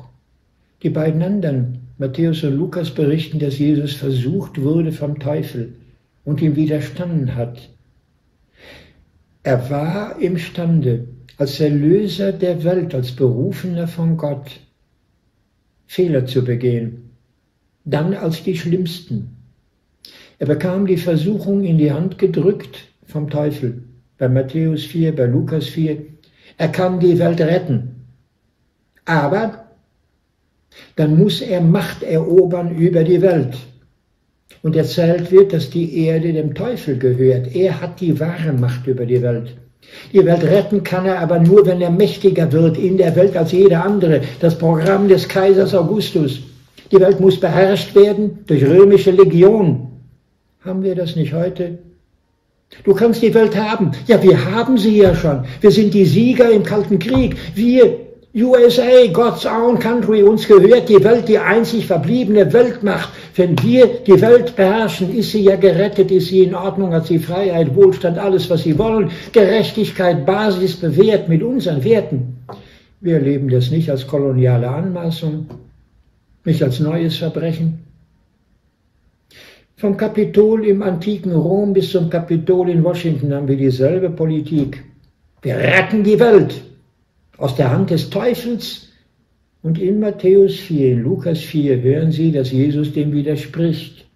Denn der Teufel sagt ihm, das kannst du sofort haben. Du musst nur niederknien und mich anbieten als den wahren Herrn der Welt. Du darfst meine Mittel nicht scheuen. Du musst lügen, wenn es dran ist. Du musst bombardieren, wenn es nötig ist. Du musst Menschen töten, wenn sie dir im Wege stehen. Du musst Grausamkeit lernen können. Du darfst keine Schwäche zeigen. Dein dämliches Mitleid hilft uns überhaupt nicht. Du musst durchhalten können, stark sein, Wumms machen können, mit Raketen reinhauen. Das ist meine Welt und die gehört mir und die kannst du haben, wenn du sie retten willst, aber mit meinen Mitteln bitteschön. Jesus war versuchbar, sagen die Evangelien, in genau dem Punkte. Und Jesus konnte nur sagen, verschwinde Satan. Dafür wurde er gekreuzigt. Wenn wir sagen, er war sündenlos, dann bitteschön müssen wir ihm folgen im Widerspruch zu einer Verführung in bester Absicht. Ich will nicht unterstellen, dass Kaiser Augustus nur böse war. Er wollte Weltherrschaft, Macht. Rom war damals kulturell höchststehend. Seine Rechtsordnung sind uns heute noch wie geschriebene Gesetze. 2000 Jahre lang folgen wir nicht dem Neuen Testament, sondern der Rechtsprechung Roms. Man hatte Menschenrechte in Rom, ich muss das nicht jetzt länger schildern. Das Entscheidende ist, dass Jesus dem gesamten Programm zentral widersprochen hat. Deshalb mögen wir sagen, er war ohne, ohne Sünde. Aber bitteschön, dann müssten wir ihm darin folgen, statt nur davon zu schwätzen und daraus eine metaphysische Eigenschaft zu machen. Jesus konnte ja gar nicht sündigen. Als metaphysischer Sohn Gottes mit einer göttlichen Natur kann er natürlich nichts tun, was Gott widersprechen würde. Wir aber sind ja nur Menschen und wir dürfen das deshalb. So geht's nicht. So belügen wir uns selber. Noch anders. Markus kennt diese Versuchungsgeschichte nicht. Aber er erzählt, dass Jesus gleich am Anfang seines Evangeliums sich taufen ließ von Johannes dem Täufer. Und der predigte, dass die Menschen Sünder sind. So ungeheuer, dass Gott bereit steht, die Sündflut über die Welt zu schicken, ein zweites Mal. Er steht Gott bereit zum Gericht. Das ist der Gott, den Johannes der Täufer verkündet. Und Jesus lässt sich taufen. Es ist die letzte Rettung des Täufers angesichts des drohenden Gerichtes. Zuflucht zu suchen in Reue. Das ist die Taufe, ein neuer Anfang des Lebens. Eine letzte Chance, die man nutzt. Soll man denken, Jesus hat nicht gefühlt, was Schuldgefühl bedeutet? Rettungslosigkeit bedeutet ein Flehen um Gerechtigkeit Gottes in Schuldbewusstsein? Das ist der Grund, warum Jesus sich taufen lässt. Auch das haben wir metaphysiziert. Später erzählen die Evangelisten, Jesus habe gesprochen, oder Johannes selber, du müsstest mich taufen. So war es aber nicht. Markus berichtet simpel, dass Jesus sich hat taufen lassen. Und dann, als er das tat, hat sich von seinen Augen der Himmel geöffnet und eine Stimme ihn angesprochen. Aber du bist doch mein Sohn. Jetzt haben Sie das Wort, das Jesus hier weitergibt. Du bist doch mein Sohn. Das heißt, es kann in deinem Leben passieren, was will, ich werde zu dir stehen. Du wirst nie aufhören, mein Kind zu sein. Und du bleibst es im Vertrauen auf eine väterliche Güte jenseits von allem, was Menschen miteinander machen und wie sie sich ihren Gott malen, um sich zu rechtfertigen in der Grausamkeit ihrer Urteile. Ich werde mit dir gehen. Ich möchte, dass du bist, nur deshalb habe ich dich geschaffen. Ich sage dir das, was kein Mensch auf Erden dir sagen kann. Du bist und bleibst mein Kind. Und ich bin dir zugewandt. Ich möchte, dass du bist. Das ist der Grund deiner Existenz. Nicht Kausalitäten in der Biologie. Mein Wille, der möchte, dass du bist, erklärt alles. Und nun auch deine Lebensführung. Du hast gerade in der Taufe des Johannes kennengelernt, wie zerbrechlich du selber bist, wie fehlbar du selber sein könntest und was die Menschen benötigen, um sich aufzurichten. Jetzt, wo du dich aus dem Wasser des Jordans erhebst und zum Himmel schaust, ist er endlich offen. Jetzt siehst du Gott wirklich. Nicht mehr wolkendrehend, nicht mehr gewitterzürnend, sondern seine Güte in einem reinen Zuspruch. Mein Sohn. Das gibt Jesus hier weiter. Als Heilmittel. Kind redet er an den Gelähmten. Und dasselbe Wort, was er hört am Jordan. Deine Sünden soll heißen alles, was du bist. Alles, was in der Vergangenheit sich abgespielt hat, alles, was in die Zukunft hinein du befürchtest, ist dir vergeben, wird dir vergeben. Das Passiv ist die absolute Nähe der Aktivität Gottes hier. Das Unaussprechliche umschreibt sich als Erfahrung, die nicht gemacht werden muss, die einfach da ist. Wenn Sie einen Kommentar protestantischerseits dafür wollen, wüsste ich Ihnen nicht besser zu geben als in der in Anführungsstrichen Gnadenlehre Martin Luthers. Luther hat diese drei Formeln in Wittenberg ausgegeben. Menschen können nur leben mit dreimaligem Allein. Allein durch die Schrift soll heißen mit Geschichten wie diesen. Das steht doch nur im Neuen Testament, Markus 2. Und nur damit kann man leben. Das ist der ganze Martin Luther aus eigener Erfahrung, aus eigener Verzweiflung, aus permanentem Skrupulantismus mit Schuldgefühl. Beichten, beichten, beichten und keine Rettung. Die Verzweiflung daran, ich kann aus mir keinen anderen Menschen machen. Die Bibel, allein die Bibel, und das nächste, allein aus Gnade, soll heißen aus Vergebung der Schuld. Nur daraus leben wir, im Vertrauen, dass Schuld uns vergeben wird. Jesus am Jordan, hier in Kafanaum, der Gelähmte, so kommt Luther sich vor in Wittenberg. Er kann nicht anders. Er ist ein Sünder, er kann machen, was er will, alle Vorsätze helfen überhaupt nicht. Er bleibt schuldig, fühlt sich schuldig macht unentrinnbar immer wieder das Gleiche falsch. Es kommt ein Augenblick, der in die Geschichte eingegangen ist, auf der Wartburg sitzend, gerettet durch seinen Kurfürsten, schreibt er an seinen Freund Melanchthon, den er dringlich braucht, auch bei der Bibelübersetzung zur Korrektur. Das Griechisch beherrscht Luther im Neuen Testament wie auswendig, aber das Hebräische viel weniger. Da braucht er seinen Philipp, und er braucht zehn Jahre, um daran weiter zu übersetzen, ein dickes Buch, die Bibel. In Wittenberg ist allerhand los.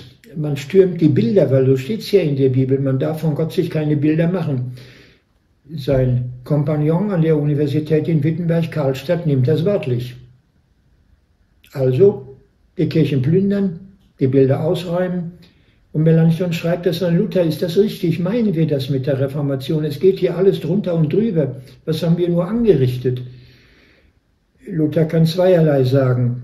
Wenn die Menschen Gott verbinden mit der Sonne am Himmel als Bild und sagen, Gott ist das Licht in unserer Seele. Und es gibt Heiden, die beten die Sonne an, wie wäre er selber der Gott. Liebe Leute, in Wittenberg holen wir dann die Sonne vom Himmel, um keinen Götzendienst mehr zu treiben.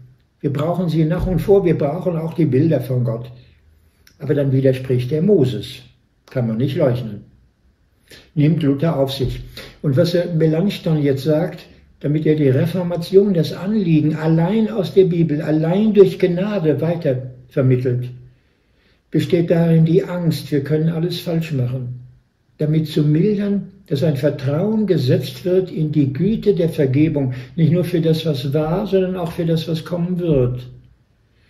So nämlich sagt Luther, schriftlich, auf Latein. Pecca fortiter, sündige tapfer.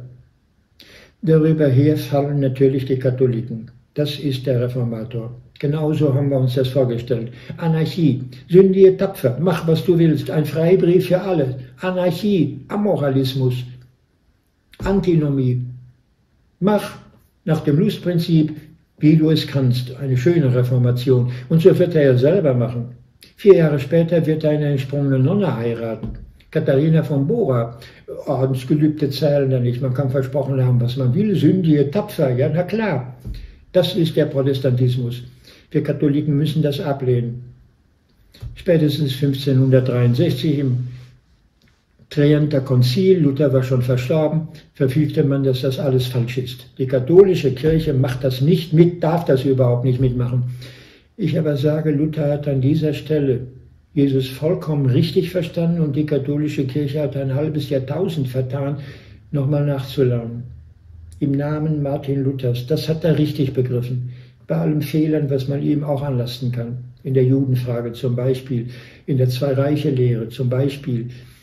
Auch Luther konnte gegen den Papst, gegen die Türken, gegen den Teufel allerhand anbieten, das ihn zum Fanatiker machte. Ich lasse das.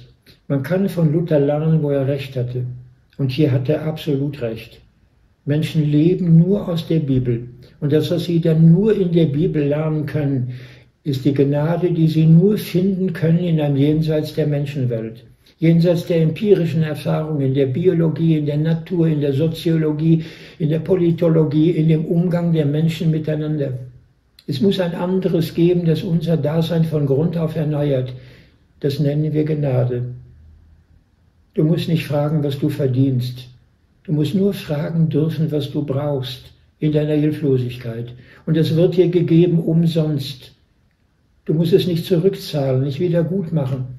Das ist nicht die Deutsche Bank. Die vergibt dir gerne Kredite, aber mit 14 Prozent Überziehungskredit. Da verdient sie ja dran an die Kredite, die sie gerne vergibt. Natürlich mit Zinsauflagen. Wenn du ein Guthaben hast bei der Deutschen Bank, kriegst du nicht den Teufel. Äh, nein, Zinsen für Guthaben vergeben wir nicht, aber für Schulden allemal. Und da sind wir so gut und helfen dir aus. So ist nicht Gott. Du brauchst ihn unbedingt. Du kannst auch das geliehene Geld nicht zurückzahlen. Es wird dir überhaupt nicht geliehen, es wird dir geschenkt. Das ist Gott. Dein ganzes Dasein ist ein Geschenk. Das musst du nicht mit Schuldgefühlen wieder gut machen. Das darfst du in Empfang nehmen zum Weitergeben. Dein Geschenk, das du bist, gibt sich weiter. Durch eine Güte, die du in dir trägst, in Erfahrung, anders gar nicht leben zu können. Das ist, was Christus in die Welt bringt, was er dem Gelähmten beibringt. Wenn es so ist, begreifen Sie, dass man beginnen kann, sich aufzurichten, neu zu atmen, einen neuen Herzschlag spürt, der die Liebe näher bringt und miteinander sich austauscht. Mit mal reden Sie anders, haben Sie den Mut zum Reden. Sie öffnen sich in der Mitteilung zum anderen. Das können Sie jetzt übersetzen, auch in die psychosomatische Medizin, in die Psychoanalyse, wie Sie wollen. Freud hat das aus der eigenen Erfahrung von 1895 und später dann gelernt. Psychotherapie besteht in dem Versprechen, nicht übereinander zu zensieren, zu urteilen, zu moralisieren, zu diffamieren, auszugrenzen, inakzeptabel, wissen wir besser, geht gar nicht, einzig zu verstehen. Und das ist der Freispruch im Vorlauf. Alles, was du zu sagen hättest und gar nicht erst zu sagen wagst, wird aufgenommen in Vergebung, in Annahme, in Akzeptanz und Akzeptation. Ich umfange dich mit all den Schuldgefühlen, die bis zur Lähmung reichen, ganz und gar. Mag sein, dass du nicht mehr gehen kannst, aber du hast dich nie entfernt aus meiner Liebe. Mag sein, du glaubst, ich will niemand mehr, aber ich versichere dir, aus meiner Hand bist du nie entglitten, das ist unmöglich. Und deine Gelähmtheit ist nichts weiter als ein Rufen nach einer Hand, die gütig genug ist, dich bei der Hand zu nehmen, um dich aufzurichten. Das ist der Gott, den Jesus nach Kafana umbringt und damit in unsere Welt. So ist die Art, wie er heilt. Eine andere gibt es nicht. Im Vertrauen auf Gott. Ich deutete schon an, und wir müssen es jetzt aus Zeitgründen, dürfen wir es aber auch ein bisschen schneller durchlaufen. Natürlich findet das den Widerstand der Gottesgelehrten, der Besserwisser, der genau sich auskennenden. In der Bibel stehen 613 Gesetzen des Moses, was fällt dem Mann ein? Wie kann er Sünden vergeben, ohne überhaupt gehört zu haben, um welche Sünden es sich handelt? Es ist nicht einmal ein Geständnis abgelegt worden. Ist denn das möglich? Ein Blankoscheck für Sünder, für Gesetzesbrecher, für Monster und für Ungeheuer unter den Menschen. Wer weiß denn, mit wem er es zu tun hat? Braucht er nicht. Er kann vergeben. Blind geht er durch die Welt. Das ist ungeheuer. Die Wahrheit ist, die wir psychologisch gerade begreifen. Ein ehrliches Bekenntnis ist überhaupt nur möglich in dem Vertrauen, dass die Begebung verläuft. Das ist, was Luther seinem Melanchthon sagen wollte mit Sünde tapfer. Nicht mach einfach drauf, lebe wie du willst, sondern glaube, dass der Magiertag nur sich ereignen kann, im Vertrauen, dass du von heute auf morgen mitsamt den Fehlern, die du mitnimmst, hineingehst in eine Zukunft, in der du dem gleichen Gott begegnest, der dir vergibt, was immer geschehen mag. Die Zukunft ist eine gerettete. Du nimmst dich mit, Melanchthon, du bist morgen früh kein anderer Mensch als heute, aber eventuell ein Mensch mit mehr Vertrauen in die Güte Gottes, du die benötigst, in den Tag zu kommen. Nicht mal von dem Tag heute mit all seinen Fehlern gehst du durch die Nacht in den Morgen, ohne dieses Vertrauen. Was immer ich tue, ist vergeben bei Gott. Wenn du diese Güte lernst, kannst du viele Fehler wirklich nicht mehr machen. Das ist deine Rettung. Du findest dich selber als Person wieder. Und das ist die innere Energie, dass du manches gar nicht mehr tun musst. Psychoanalytisch manche Zwänge, manche Minderwertigkeitsgefühle, manche Übertragungen heben sich auf. Du wirst wirklich ein neuer Mensch. Du lebst aus der Überzeugung einer getragenen Güte, die dir erlaubt zu sein. Und die weiterzugeben bestimmt jetzt dein Leben. Kein Rumerrechnen, wer ist mir schuld, was muss er mir zurückzahlen, was hat er mir wieder gut zu machen, er hat mich beleidigt, jetzt muss er wieder gut machen. Revanche, Rache, das bestimmt unsere ganze Politik von früh bis spät. Wir haben ein Recht. Ja, worauf? zum Töten von Menschen, dann wollen wir ja nicht, dass sind Collateral Damages. Nein, sind sie nicht. Ist die Produktion erziehender Mordbereitschaft. Militär, ein Recht zur Verteidigung. Tja, was haben wir da? Außer dem Missverständnis unserer selbst. Und wir müssten jetzt den Gründen nachgehen, die in der Schuld des Gelähmten liegen. Was hat ihn schuldig werden lassen? Wir nehmen mal an, das Schuldgefühl hatte Gründe ganz ungeheuerliche Gründe womöglich. Er hat wirklich vieles falsch gemacht. In Angst, in Selbstentfremdung, in falschem Gehorsam. Es tut ihm bitter leid, was er war. Dieser Tage noch las ich von Zwerens, Soldaten sind Mörder, ein Roman von 1988. Die Unbelehrbarkeit der Deutschen ging der Mann durch. Und möchte, dass Tucholsky zur Einsicht kommt, Soldaten sind Mörder, so heißt sein Buch. Wenn wir das begriffen, was sind wir? Was machen wir? Wozu lassen wir uns bringen? Herren der Welt und werden wie Teufel. Wie kommen wir da raus? Außer wir ändern unser ganzes Leben im Vertrauen, dass alles falsch ist, was mitleidlos ist, was über Menschen hinweggeht, was uns Recht gibt, indem wir schaffen. Dann so widerlegen wir alles, was wir als Menschen sein könnten.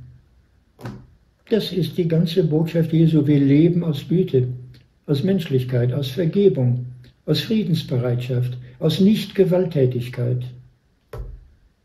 Das heilt, erneuert unser Dasein, macht uns den Himmel nah und das Himmelreich Gottes in unseren Herzen spürbar. Dagegen sind die Schriftgelehrten. Das war damals in den Tagen Jesu. Sie haben ihn umgebracht. Jesus von Nazareth. Dafür. Das geht los im zweiten Kapitel bei Markus und das geht in der nächsten Geschichte so weiter. Da geht Jesus nämlich mit Zöllnern um. Zöllner, das sind die Leute, die mit den Römern paktieren, die Allerschlimmsten, die nehmen unser Geld für die Besatzungsmacht Roms. Wäre das ein Thema in der Ukraine? Wäre das ein Thema in Israel? Äh, darf man überhaupt so denken? Muss man das nicht abschaffen, töten schon im Ansatz? Kann man machen.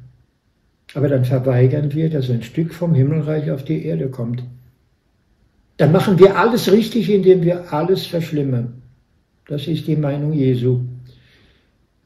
Er lädt die Zöllner ein, weil sie nicht glauben können an Güte. Aber sie brauchen sie, um zu leben. Rechtschaffene Juden grenzen aus ein Zöllner, der paktiert mit der Unterdrückungs- und Besatzermacht der Römer. Tja, wenn wir Juden aber akzeptieren müssen, dass die Römer im Lande sind, die Araber akzeptieren müssen, dass die Israelis im Lande sind, wenn wir entdeckten, dass das alles nur Menschen sind, brauchen wir kein Herrschaftsregime, kein Unterdrückungsregime. Dann müsste 50 Jahre Freiluftgefängnis in Gaza sich öffnen zur Mitmenschlichkeit im Namen Gottes. Der Gott, von dem hier die Rede ist, ist doch der Gott aller. Der Juden schon gar der Christen allzumal, der Muslime auch. Und wir fänden uns wieder am gleichen Krankenbett, für alle, gemeinsam. Jesus sieht sofort, was er damit anrichtet. Er kennt in seinem Herzen die Gedanken, die in deren Herzen vor sich gehen und fragt sie, warum denkt ihr das? Die Frage wird von ihnen überhaupt nicht beantwortet. Aber wir müssten sie beantworten. Deshalb denken wir so, weil man es uns beigebracht hat. Weil wir uns selber missverstehen, weil wir immer noch revanchelüstern sind, weil wir Recht haben wollen, weil wir uns als die Guten fühlen, weil wir hassen müssen, was das Böse ist in der Gestalt der anderen, weil wir überhaupt nie wollen, dass wir wahrnehmen könnten, wie wir zu dem Bösen bei den anderen selber beigetragen haben. Deshalb müssen wir Vergebung hassen, wir müssen streng sein, stark sein, bessere Gesetze haben, das lesen Sie jeden Tag. Alles, was wir derzeit erleben, ist die Verschärfung der Gesetze. Was machen wir mit Leuten, die nicht weiter wissen, die zu Fuß durch die Sahara gekommen sind, um irgendwo leben zu dürfen? Nicht bei uns. Strengere Asylgesetze abschieben, fordert die Partei noch sogar in Verschärfung unserer sogenannten Ampelkoalition als christliche Partei. So hat das übrigens angefangen als christliche Partei. Grenzen, eigene Interessen durchsetzen, Stärke. Militär, 100 Milliarden für Bomben brauchen wir, für Flugzeuge brauchen wir, bessere Waffen brauchen wir, können wir verschenken sogar für Menschen in Not. In Afghanistan sind wir gekommen aus Verantwortung, 20 Jahre lang. Zwei Erdbeben suchen das arme Afghanistan heim. Und der Winter bricht an. Ich weiß, wie der aussieht. Im Hindukusch, Ausläufern. Das sind fünf Meter Schnee. Selbst wenn ein Lehrer in die Dörfer gehen wollte, kommt er nicht durch. Die Menschen brauchen dringend Hilfe. Aber die haben wir gerade nicht, außer Minimalbeträgen, die die UNO gerade freischaltet. Hilfe für Gaza, oh, das ist ein Problem. Dürfen Hilfskonvois von Ägypten überhaupt fahren? Zwei Flugzeugträger haben wir in der Nähe im Mittelmeer schon mal, das können wir. Und so immer.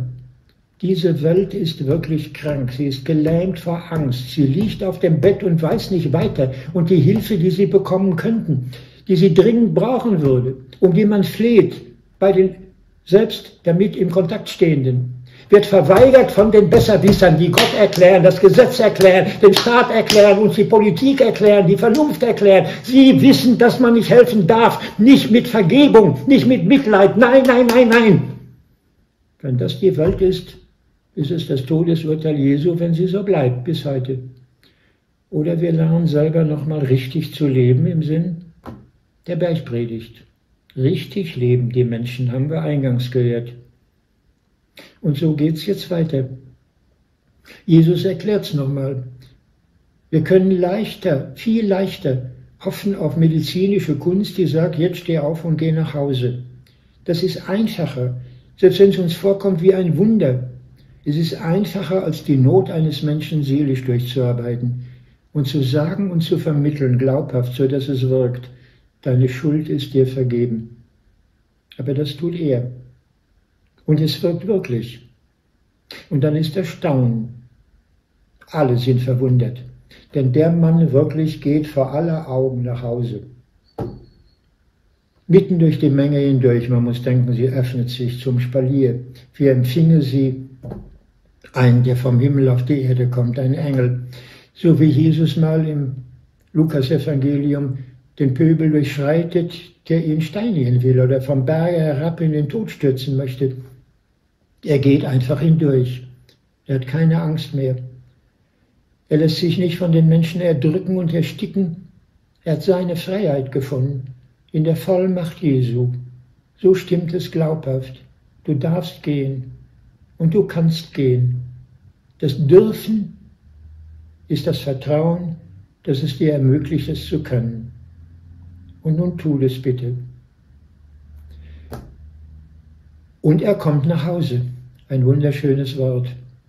Nach manchen Vorträgen wünsche ich eigentlich nichts mehr, als wir möchten jetzt gut bei sich selber ankommen. Das ist so viel wie nach Hause. Bei sich selber ankommen. Das ist hier geschehen. Die Entfremdung der Gelähmtheit in der Hypothek von Schuldgefühlen wird durch den Zuspruch unbedingter Vergebung in einem absoluten Raum von Gott her auf Erden ermöglicht. Dann bleibt noch in aller Kürze auszulegen, was uns verwirren möchte durch die Theologen mal wieder, damit ihr aber seht, dass der Menschensohn auf Erden Macht hat, Sünden zu vergeben, sagt er. Das ist ein Satz, der auseinanderbricht. Das eine ist die Begründung und das andere die Folgerung. Spricht er zu dem Gelähmten. Deshalb sagte ich, der Sprung in die Gegenwart ist das Entscheidende. Muss sich jetzt ereignen. Ist Präsenz im Dauerzustand. Damit ihr wisst, der Menschensohn hat Macht auf Erden, Sünden zu vergeben. Spricht er jetzt zu dir in deine Not hinein vergeben sind dir deine Sünden. Und deshalb sage ich dir, wenn du das glaubst, jetzt hat es die Wirkung. Du bist selber bevollmächtigt, dein eigenes Motorium wieder in Gang zu nehmen, über deinen eigenen Körper herrschen zu können, Bewegungen zu machen, die du wirklich willst. Du hast ein Recht auf deinen Eigenwillen, den man dir übel genommen hat. Du bist du selber und ich möchte, dass du bist. Wenn wir hören von Menschensohn, haben wir wieder die letzte aller Ausreden, schriftgelehrte Ausreden. Die sitzen dabei und sagen, ja, ja, ja, aber der Menschensohn ist Jesus Christus. Das ist der Hoheitstitel für den Messias. Jesus ist der Menschensohn. Ja, wie nun? Wir sind nicht der Menschensohn, wir sind nicht der Messias, wir sind nicht der Gottessohn. Wenn Jesus spricht hier vom Menschensohn, meint er aber gar keinen Hoheitstitel. Er will sich nicht in Übergröße aufbauen. Wenn er spricht, Jesus von sich mitunter als Menschensohn, ist das im Aramäischen so viel wie der Name Mensch.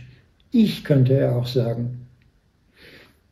Menschensohn sind wir alle, Menschenkinder nämlich. Und wie die sind, können Sie heute Nachmittag noch nachlesen im Psalm 8.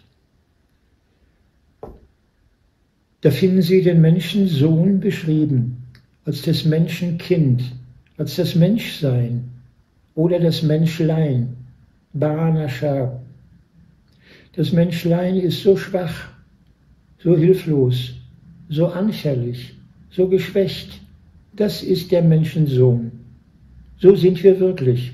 Und wenn wir das begreifen, haben wir alle Menschlichkeit, indem wir Menschen werden.